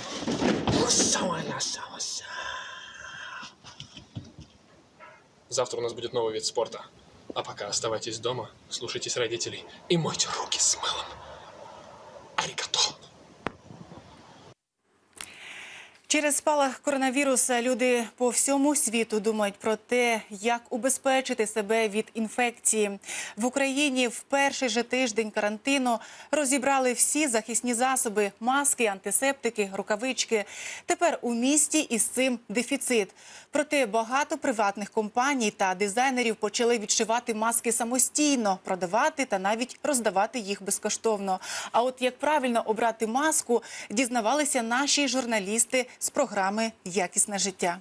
У обороні проти вірусу найкращим захистом буде респіратор, а не маска, впевнений підприємець Андрій. Своїм працівникам чоловік придбав саме такий вид захисту, хоч і дорогувато, але безпечніше, на думку чоловіка. Маска может носиться только лишь 2-3 часа. После этого мембрана, мембран просто не справляется с потоком инфекции. Вот ей буквально вот 2 часа и все, она уже просто не годится. Дальше. А, что касается респиратора. Респиратор, он имеет клапан. Клапан многоразового использования. Есть съемный клапан, есть дополнительно в комплекте. То есть вы можете ее носить сутки или больше. И при этом не беспокоиться, что э, ну, что-то произойдет. Во-вторых, маска имеет все равно пропускную способность. То есть маска не сидит плотно на лице, а респиратор плотно сидит на лице. У боротьбі проти невидимого ворога всі методи годяться, каже чоловік. Тож нам показує залежаний дідівський протигаз. Вот, например, еще вчера вот это было на грани фантастики. То есть это раритет, который можно было купить э, при въезде в Чернобыль на память, как сувенир. Сегодня это уже реальность. Якщо ж з протигазами ситуація не вивчена, то з респіраторами зрозуміла. І тут епідеміолог погоджується з нашим героєм Андрієм. Вона має більший рівень захисту, але це на сьогодні рекомендовано в основному для медичних працівників, які безпосередньо працюють в вогнищі інфекції. Аби підтримати настрій українців та зменшити паніку, дизайнерка Катаріна разом зі своїми колегами створили ось такі маски із цікавими принтами. Идея возникла, когда мы начали в городе встречать все больше и больше людей в медицинских масках. И все стало так как-то немного уже панически страшно. И мы решили сделать такую креативную идею, фэшн-аксессуар, э, который с- надевается поверх медицинской маски и дарит окружающим людям настроение. Від вірусу вони не вбережуть, а от піднімуть бойовий дух, так це точно, каже дівчина. Э, В день мы производим более тысячи масок. Здесь мы их пакуем, собираем, и эти маски уже уходят сегодня в заказы. Густонаселений район міста. Діти бавляться на дитячому майданчику. Але і вони, і батьки, як бачимо, без масок. Три обошла, которые ближайшие нигде нет. Їх просто немає. А поки українці нехтують будь-якими способами захисту, Італія вже посіла першість по числу заражених і перевершила Китай за кількістю померлих від коронавірусу. Карантин один для всіх і для зірок, і для менш відомих людей. Тому, перебуваючи в чотирьох стінах, кожен шукає способи, чим зайняти свій вільний час. А як проводять час українські зірки, дивіться просто далі. Перебуваючи вдома на карантині, ми мало рухаємось, а пасивне проведення часу негативно впливає на імунну систему. Тому вдома на карантині побільше їжте фруктів, ведіть здоровий спосіб життя і всіляко зміцнюйте свій імунітет. Допоможе подолати вірусну інфекцію фізкультура. Не лінуйтеся щодня робити нескладні елементарні вправи. Вони дозволять і до весни підготуватися, і тримати себе в чудовій формі, і відчути силу свого організму. Не втрачає оптимізму і щодня активно виконує фізичні вправи співачка Злата Огнєвич. Вона поділилася власними тренуваннями, які завжди допомагають їй перебувати в тонусі. Наступного разу співачка пообіцяла поділитися вправами для укріплення рук та спини. Головне, зазначила Огнєвич, мотивація. Тому мерщі за килимком. На карантині кожен розважає себе як може. Челендж із приготування улюблених страв серед українських знаменитостей набирає обертів. Естафету отримав футболіст Євгеній Коноплянка. Очевидь, через свою зайнятість спортсмен не часто готує, бо за його словами тільки півдня готував інгредієнти. А от справжнє кулінарне шоу на власній кухні вирішила створити співачка м'ята. В соціальних мережах із своїми фанатами вона буде ділитися рецептами улюблених страв. Кулінарія одна з найулюбленіших справ співачки. Вона прихильниця правильного харчування. Щодня для всієї сім'ї готує різноманітні корисні та поживні страви. М'ята переконана, смачна їжа може прикрасити будь-який день. Не кулінарією єдиною. Під час карантину прима балерина Катерина Кухар читає книги. Кожну хвилину вільного часу потрібно використовувати раціонально, зазначає балерина. Альтернатив для проведення карантину вдома вдосталь. Поділився своєю домашньою бібліотекою співак Влад Дарвін. Він презентував науково-пізнавальну літературу, яку рекомендує прочитати кожному. Ось і промайнули три години ранку на карантині. Ми не втомлюємося закликати вас дотримуватися рекомендацій лікарів, адже саме так ви захистите себе та своїх близьких. І обов'язково дивіться ранок на карантині. Ми маємо чим поділитися з вами. Ну а просто зараз новини СТН. А я вже з вами зустрінуся завтра о сьомій ранку. До зустрічі.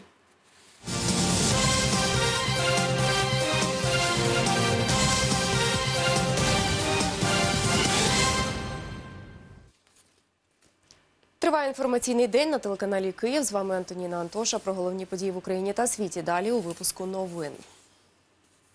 Наймолодша жертва коронавірусу в Європі. Хвороба забрала життя 12-річної дівчинки з Бельгії. Повідомляє Sky News. Місцева влада зазначила, що це і наймолодша пацієнтка серед 705 інших громадян, що померли від недуги. Нині в Україні інфіковано майже 13 тисяч людей.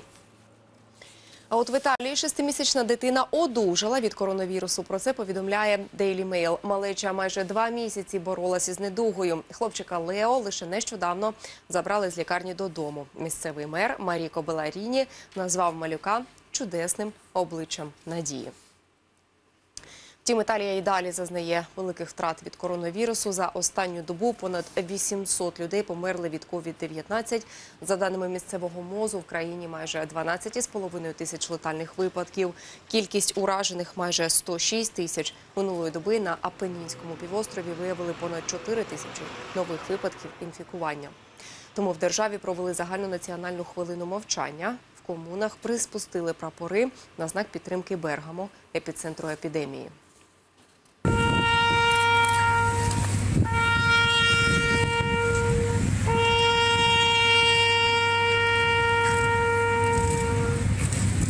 Зірковий телеведучий CNN Кріс Куомо захворів на COVID-19. Він ізолювався в підвалі та продовжує працювати над авторською програмою. Про це розповів його брат, губернатор штату Нью-Йорк. Ендрю Куомо під час промови в прямому ефірі. Наразі в США понад 188 тисяч хворих, з них понад 4 тисячі летальні випадки. Мені байдуже, наскільки розумним, заможним або владним ви себе вважаєте. Мені байдуже, молодий ви чи вже в похилому віці. Цей вірус неперевершений урівнювач. Імунітет від коронавірусу у Німеччині хочуть проводити масове тестування людей на антитіла до COVID-19. Позитивний результат такого дослідження буде означати, що людина вже перехворіла і більше не зможе підхопити вірус сама або заразити інших. Всім, хто пройде тестування, видадуть сертифікати. Вони звільнятимуть жителів від карантинних обмежень у Україні. Нагадаю, в Німеччині найменший показник смертності від коронавірусу 775 летальних випадків на майже 72 тисячі хворих. Щодня зростає кількість хворих і в Україні. МОЗ уже підтвердило 645 випадків COVID-19. Центр громадського здоров'я повідомляє, від хвороби померли 17 громадян, одужали 10 із Дніпропетровської, Запорізької, Київської та Чернівецької областей. Перший в Україні протокол лікування COVID-19 з'явився у Вінниці, оскільки у світі поки немає єдиного алгоритму боротьби з хворобою. Кожна країна розробляє свій. Вінницький департамент охорони здоров'я повідомляє, не дочекались державного протоколу і склали власний. Він заснований на китайському, італійському, іспанському, американському та корейському досвіді. У переписі визначили низку протималярійних препаратів, а також медикаментів, які застосовують при лікуванні СНІДу. Величезна медична маска просто посеред скверу. У Львові з'явилась інсталяція, яка закликає людей користуватись засобами захисту. 3D-малюнок встановили посеред зеленої зони на валах у центрі міста. Маска ніби зависла у повітрі, а над нею напис Одягніть мене, будь ласка. Так автор хотів вкотре нагадати про необхідність захищати свої дихальні шляхи під час пандемії. Ну і карантин карантином, а дитині потрібні прогулянки. Молодий батько Шанхаю винайшов капсулу безпеки для двомісячного сина. Винахід фільтрує повітря, вимірює кількість вуглекислого газу всередині і за потреби закривається герметично. На майстрування капсули чоловік витратив місяць. Зробив її з переноски для кота. Мати дитини спершу сумнівала, що винахід безпечний, однак після кількох прогулянок переконалася, син на вулиці і справді захищений. Я люблю фільми та ігри пов'язані з наукою. Створенням капсули я надихнувся у комп'ютерній грі Death Stranding. Вона про виживання в постапокаліптичні часи. Тож ідею капсули я взяв саме звідти. Коли не можна, а дуже хочеться, британець замаскувався під кущ, аби прогулятися безлюдними вулицями міста. Виходити на двір без нагальної потреби у Великій Британії не можна. Там діють карантинні обмеження. Тож, аби обійти е, правила, чоловік вирішив вийти на прогулянку непоміченим. Але план не вдався. Короткі перебіжки людини куща зі свого будинку зняли на відео сусіди чоловіка. Наразі це вся інформація. Наступний випуск новин вже за годину. Не перемикайтеся.